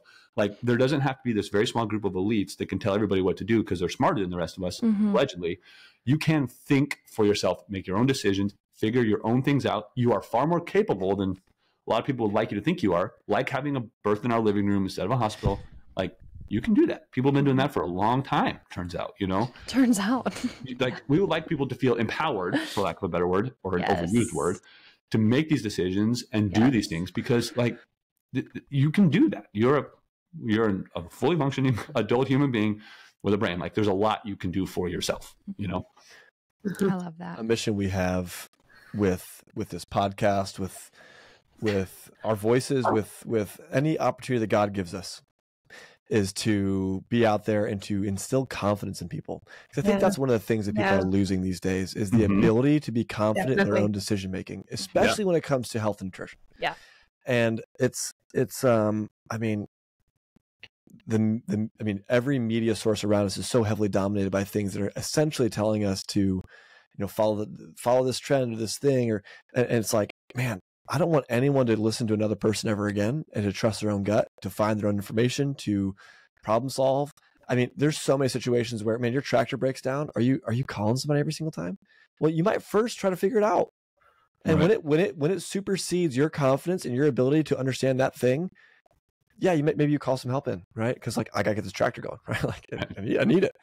It's the same thing for our kids and for our health and for mm-hmm. ourselves right? It's like man so and so fell and their arm feels weird it's like, okay well like does it hurt when i push here does it hurt when i push here I, I, there's some things that i can do that i don't Right. believe in my heart like you if- have to go get the x-ray yeah it's like well, i'm not gonna i'm not rushing you off to the er like you're, you're not you're, there's no like now if we're hemorrhaging blood, like if Right. if uh if our if we if we have a fever that's going multiple days we just can't get it down and we don't understand why like there um this is me saying it's unbelievable how amazing the medical resources we have at our disposal are Mhm. Right. it's unbelievable. There should be everyone he, eh, listening to this, anyone here, they should feel so over, like just unbelievably confident in their ability to help because they've got these resources. But that, that's what they are. These are tools. Right. These are tools for us to use. These are the the wrenches for the tractor. These are the the you know it's it's it's amazing. And and I think that um the more you learn, right? The reason the reason why we say things like food education is the the key to food freedom is man the more you know the more you learn Mhm. you can do whatever diet you want you call it whatever you want every human's different every person's different the foods you need the experiences the situations the climate everything it's going to be different for every single person Mhm.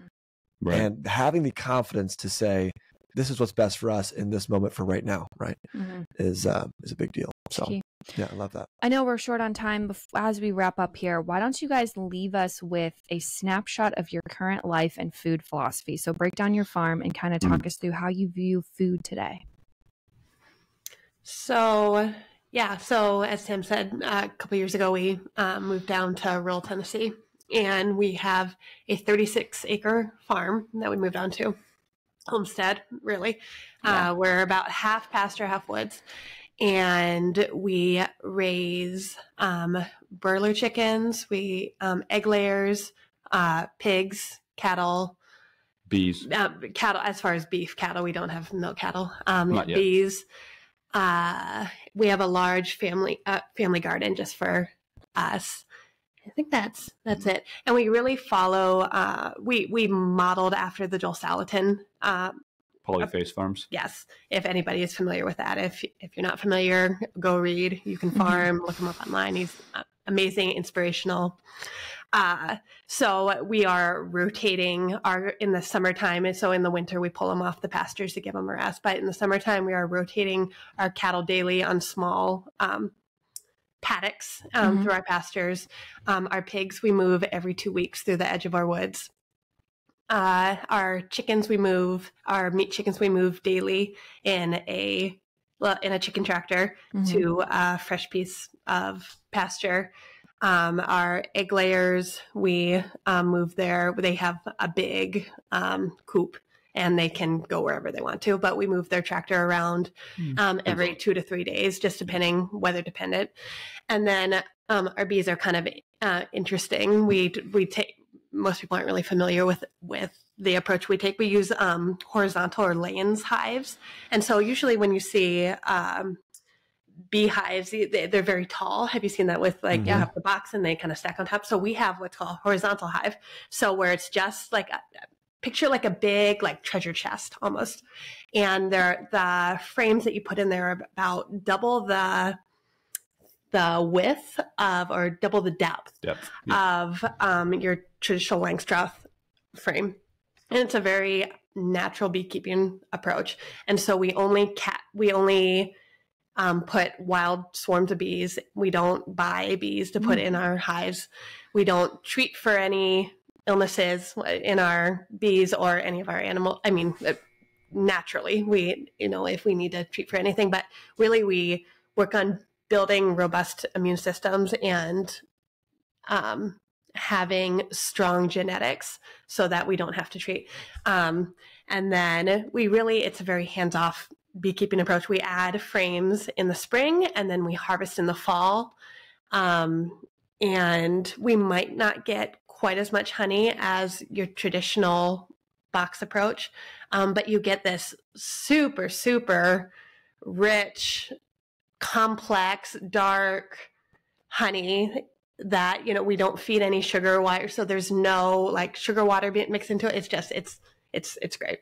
And so right now um, as far as for the community we're only producing the eggs beef chicken and pork for the community. The garden and the honey is just for ourselves right now. And we're really at a point where you know because sam works this isn't our full-time gig. Uh, sam works more than full-time outside of the home what 50 to 60 You 50 hour week job, hours a week outside the home. And so, and farming is a lot. And so we really were ramping up for our first year and a half, trying to figure out, okay, how can we do this in such a way where this can be our full time gig? Mm. Because we would love to have just a family integrated Business. business, Right. you know, that, you know, I didn't, we don't want Sam to be, you know, gone for, you know, the entire, as far as like the work week goes, gone for, you know, the entirety of our kids' childhood. And then he gets to be home, you know, after they're out of the house.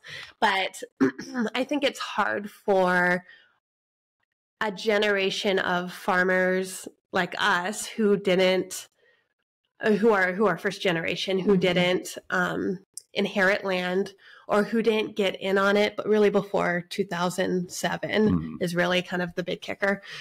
Because your mortgage on land on you know your home and land are it's just really hard to make enough on a farm in order to support yourself wholly on that unless you have some sort of side hustle going on whether you are monetizing online or you got some sort of other um, Right. job or you know you're really doing a lot of value added um, products and so for us right now we are just doing um, shares for our main you know we're not uh, so we use a state a state processor um, State inspected ins- local processor. yeah versus a USDA USDA um, processor. So we people in a sense are buying the animal for us from us, and then they are having it processed at Right. the facility legally. Right. That is versus like, like. you coming over to our house and I sell you a package of steak, right? We don't do retail cuts, as it's called. We do, uh, you know, we do shares, so Yeah. whole halves and quarters. Yep. And then the chickens, we do everything start to finish by ourselves, and so we are raising them, we are butchering them, we Mm. are, you know, Wrapping. wrapping, Mm. you know, gutting the whole thing ourselves. Um, and so, yeah, we're just really assess. You know, we have three little kids right now as well, and so just figuring out, okay, what do we want to maybe scale back and just do for our own family, and how much do we want it? Because we really get a lot of satisfaction out of providing that nourishing food for our community as well, and so mm-hmm. that's a big piece of it as well. So even though we don't make a ton on it, we provide it provides a lot of satisfaction that we can provide that for our local community uh, and I, and as I said earlier, be, being in a rural area that doesn't necessarily value the type of farming that we're doing, we look really weird to our neighbors. Mhm. Um, you know, the people that like appreciate what we're doing, like they are super excited about it. But there's a lot of people that are, you know, kind of raising an eyebrow at, you know, Yeah. you know, spray anything on your pastures. You know, that's not going to go so great for you. Right. you know, so Right. um, there was that piece. And what was what was your other question? Mm, Well, that that tells me your food philosophy right there. You're prioritizing local, whole food. You're Yeah. you don't want to go to sprays or antibiotics or pharmaceuticals if you don't have to.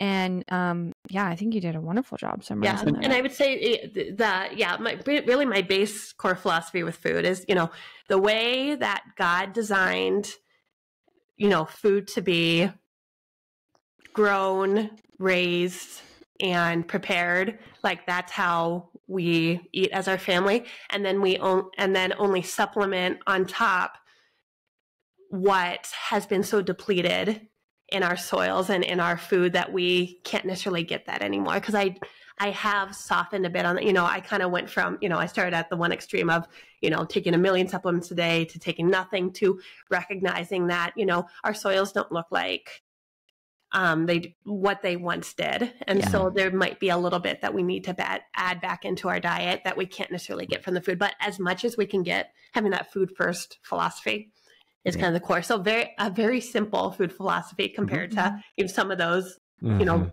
highs and lows that we went through over the course Simple. of our marriage. Yep. Yeah. Yep. Yeah. Sorry. No, no, you're love fine. that. You're fine. Yeah, sim- simple food. We want our food to taste good, be as healthy as we can with, you know, our, uh, yeah, as healthy as we can, taste good. And it is a big, it is, like we said earlier, though, it is a big part of our life in terms of time, right? Mhm. And we are not experts. We are No, failing no. forward. No, we're not Oh, experts. man. Okay. We have lot, we've learned a lot of things the hard way, which is a good way to learn things. yeah. But you know, and for the farm, one of the goals with the farm now is because I do have a good job, and I don't. It'd be hard to quit a very good job to farm for you know almost nothing, right? So Yeah. someday maybe you know my good job will allow us to retire earlier, and then we could farm full time, blah blah blah, right? But in the meantime, I would like the farm to be a closed loop, right? Yeah. where the money I make on the farm, we make, sorry, on the farm pays for things for the farm. Like we're putting a lean to on the barn right now. Um, I've been buying some tractor attachments, like some bale spears and stuff. You know, I want the meat, I want the money from selling the beef to pay for the bale spear for the tractor so that it's not using my discretionary income. We're trying to like close that loop. So on a very small scale, let's just say for someone that doesn't live on a 40 acre farm, they're like, well, I want to do bees. Okay, well, it costs money to start doing bees, but you could get a big hive of bees and you could sell half the honey the first year and half the honey the second year. And now your honey is paid for and you're supplying somebody else with honey and your, your hive doesn't cost you anything because you paid for it, right? Mhm. Like you could do that on a very small scale and close that loop, right? Like all the chickens we ate this year basically were free because of the chickens we sold, right? Yeah. And same thing, we haven't paid for pork other than the processing cost to the processor because we're selling other pork, right? So anybody Yeah. could do that on any sort of scale. You don't have to do it with 40 acres. You could do it with a quarter acre, right? Mhm. Um, you just got to figure out how to close that loop and make the stuff that you're raising for yourself paid for by selling something else. If that Mhm. makes sense. Just takes an investment and uh, time. That's It really does, good. yeah. Yeah. Yeah. And I'll, I'll, I want to say one other thing too, because I, I misspoke earlier. When I ran my math on that, I said book 65 for meals um, because I, I did my math wrong on the number of servings. It's about $2.40. Okay. Mhm. Because you're looking at about 400 meals a month. So I misspoke on that earlier. I don't want to mislead anybody. But either way, the point being, we're eating our own healthy food for less than we can eat, you know, we can eat junk food for. So I just wanted to say that now. So somebody checks my math, they're going to be like. They're gonna haunt you. No, two forty a serving is still so affordable, especially for the quality of food. So that's great. Mhm. Right. I mean, you can't, yeah, like, so you can't even go to McDonald's for that. So- No, you can't. What's the uh, name of your farm? Stones Throw Family Farm. Stones Throw Family Farm. Okay, we'll Yeah. link that in We're the show in- notes. Quebeck, Tennessee. Looks like Quebec, but with a K, and it's pronounced Quebec. Yeah. Oh, In the Quebec, South, they Tennessee. pronounce things very interestingly. They here. do. Like they'll say like what do they call it? Um s- a word that looks like it should be like La Follette or something. They'll be like La Follette. And I'm just like, Uh-huh. yeah. And I was like, um, I'm pretty You sure usually that's drop French. a syllable. Yep. It's yeah, it's You funny. mumble. Yep. We're, we're South. learning. We're getting there. We're, We're I, didn't there. try to, I didn't practice my southern accent for this interview for everyone's sake, but I'm working on it, you know? Oh, okay. I'm trying to sound like I'm from here, you know? It's Yeah. hilarious when he gets on work calls, you know, because he's he does comes sales. out. In oh, you know, he's very good at you know he he ended up in communications, um, in, in college in the end, and he's very good at modeling back or Mm. reflecting back to people. I wouldn't know, say I'm that- very good. and I do do it though. the looks I give him while he's on the phone, it's She's like, It's who is embarrassing. Who are you? You know? I love that. That's so funny. That is so Hey, what's uh, what's next for the farm? What Oh man. what's what are you guys I excited hope- about? a milk cow. Yeah, that's other than like adding more to what we're currently doing. So like maybe more cows. We're still trying to dial in like the right number of some animals to manage Yeah. the grass consumption with the hay that we need to produce, all that, right? Um, the next venture that wouldn't be just more of something that we're doing now would be, like Brett said, probably be a milk cow. But that you got to be really realistic about the time with that, right? which is why we haven't done it yet. Uh-huh, Yeah. yeah, because we Mhm. still have three small children, and so you know that's We're a just starting to get to the point with our oldest that she is starting to be able to um, give back Mhm. in, you know, cause you know those young years, you are Yeah. just pouring out, pouring out, pouring out, and we're, you know, she's starting to be able to pour back into the family a little bit, and so be really helpful. Yeah. yeah, and it's really helpful having you know other families in our church that you know are you know ten years ahead of us, and that we can see it's like okay, older kids are a game changer. Oh yeah. So yeah, so that yeah, as the kids get older, I think we would like to definitely add more, but Mhm. we gotta be realistic. So the milk Yeah, cow would be the next right thing. We'll see. Yeah, we'll see. That's cool. Yeah. So along- excellence is often found in practice, right? You can get excellent at something by practicing it, but I feel like wisdom is found through experience, Mm. and y'all are wise. And so I, I, I thank you guys for coming on here today, and would love to kind of give you guys the floor. There, there's going to be people listening to this that are in just a vast array of different stages of their real food journey. And man, what, what are some of the things you would say to encourage or, or just, you know, give them some tips as Mhm. they're on that journey? Hmm. Yeah, for definitely for the moms, like trust your intuition. You know, lean into that intuition because um, more there there were so many times in my journey where I didn't have the data. I had the intuition, and the data came later. Yes. But more times than not, you know, the intuition turned out correct. Um, and so that would be the first thing. And the second is, you know, even a small change is in the in a positive direction is a it w- is will make a market difference in the end, and is as and often will lead to more steps. But don't focus necessarily on that end goal, but just that next small step because you know it it adds up, which is no new advice. I know Mhm. people have said that a hundred different ways, you know, over the generations. Mhm. But you know, those are the two big things I'd say. Right. Yeah. Real food tastes better. I promise you, you will feel better if you eat good. And um, like Brett said, you do not have to go cold turkey all the way till, you know, everything is healthy, but work your way up there little by little and it, it will pay dividends for sure. And I'll also say this too, you know, you won't do anything if you don't actually just do something. Like you, you do have Mhm. to at some point start somewhere. Like Mhm. you got you could talk about it forever, but you actually have to do something. So like pick something that's very tangible, that's a concrete step, and then like do it right away because you'll never get somewhere if you don't actually just jump in. And and if you wait until you're perfectly ready, like parenting, right? Or marriage, if you wait until all your ducks are in a row and you feel like you're fully researched and all of that, then you do something, you'll literally never do it. Mhm. Like for us with farming, we we bought animals and had them coming in the mail like the chickens, right? Before we had a chicken coop built. That forced me to build a chicken coop. Okay. So like there's steps that you can do to force yourself to do the thing that you want to do, but you gotta you gotta you gotta do it. And then it's okay if you mess up along the way. You will mess up. Okay Over and over again. whether it's food Mhm. choices or trying to homestead, whatever, you're gonna totally screw it up, and that's fine. Just at least you're doing something and you're working towards a goal. Right. And you can Right. see that value in the what you've learned in the loss. Yeah, 100%. Mm. It's That's so fine good. to mess up on the way. And and something that y'all talked about earlier, which is you you just kind of were summarizing it again. Man, maybe it's just giving up that candy bar once a week or every day that you have it at lunchtime, or maybe it's that one dish that y'all love, and you swap out one ingredient for something a little bit better.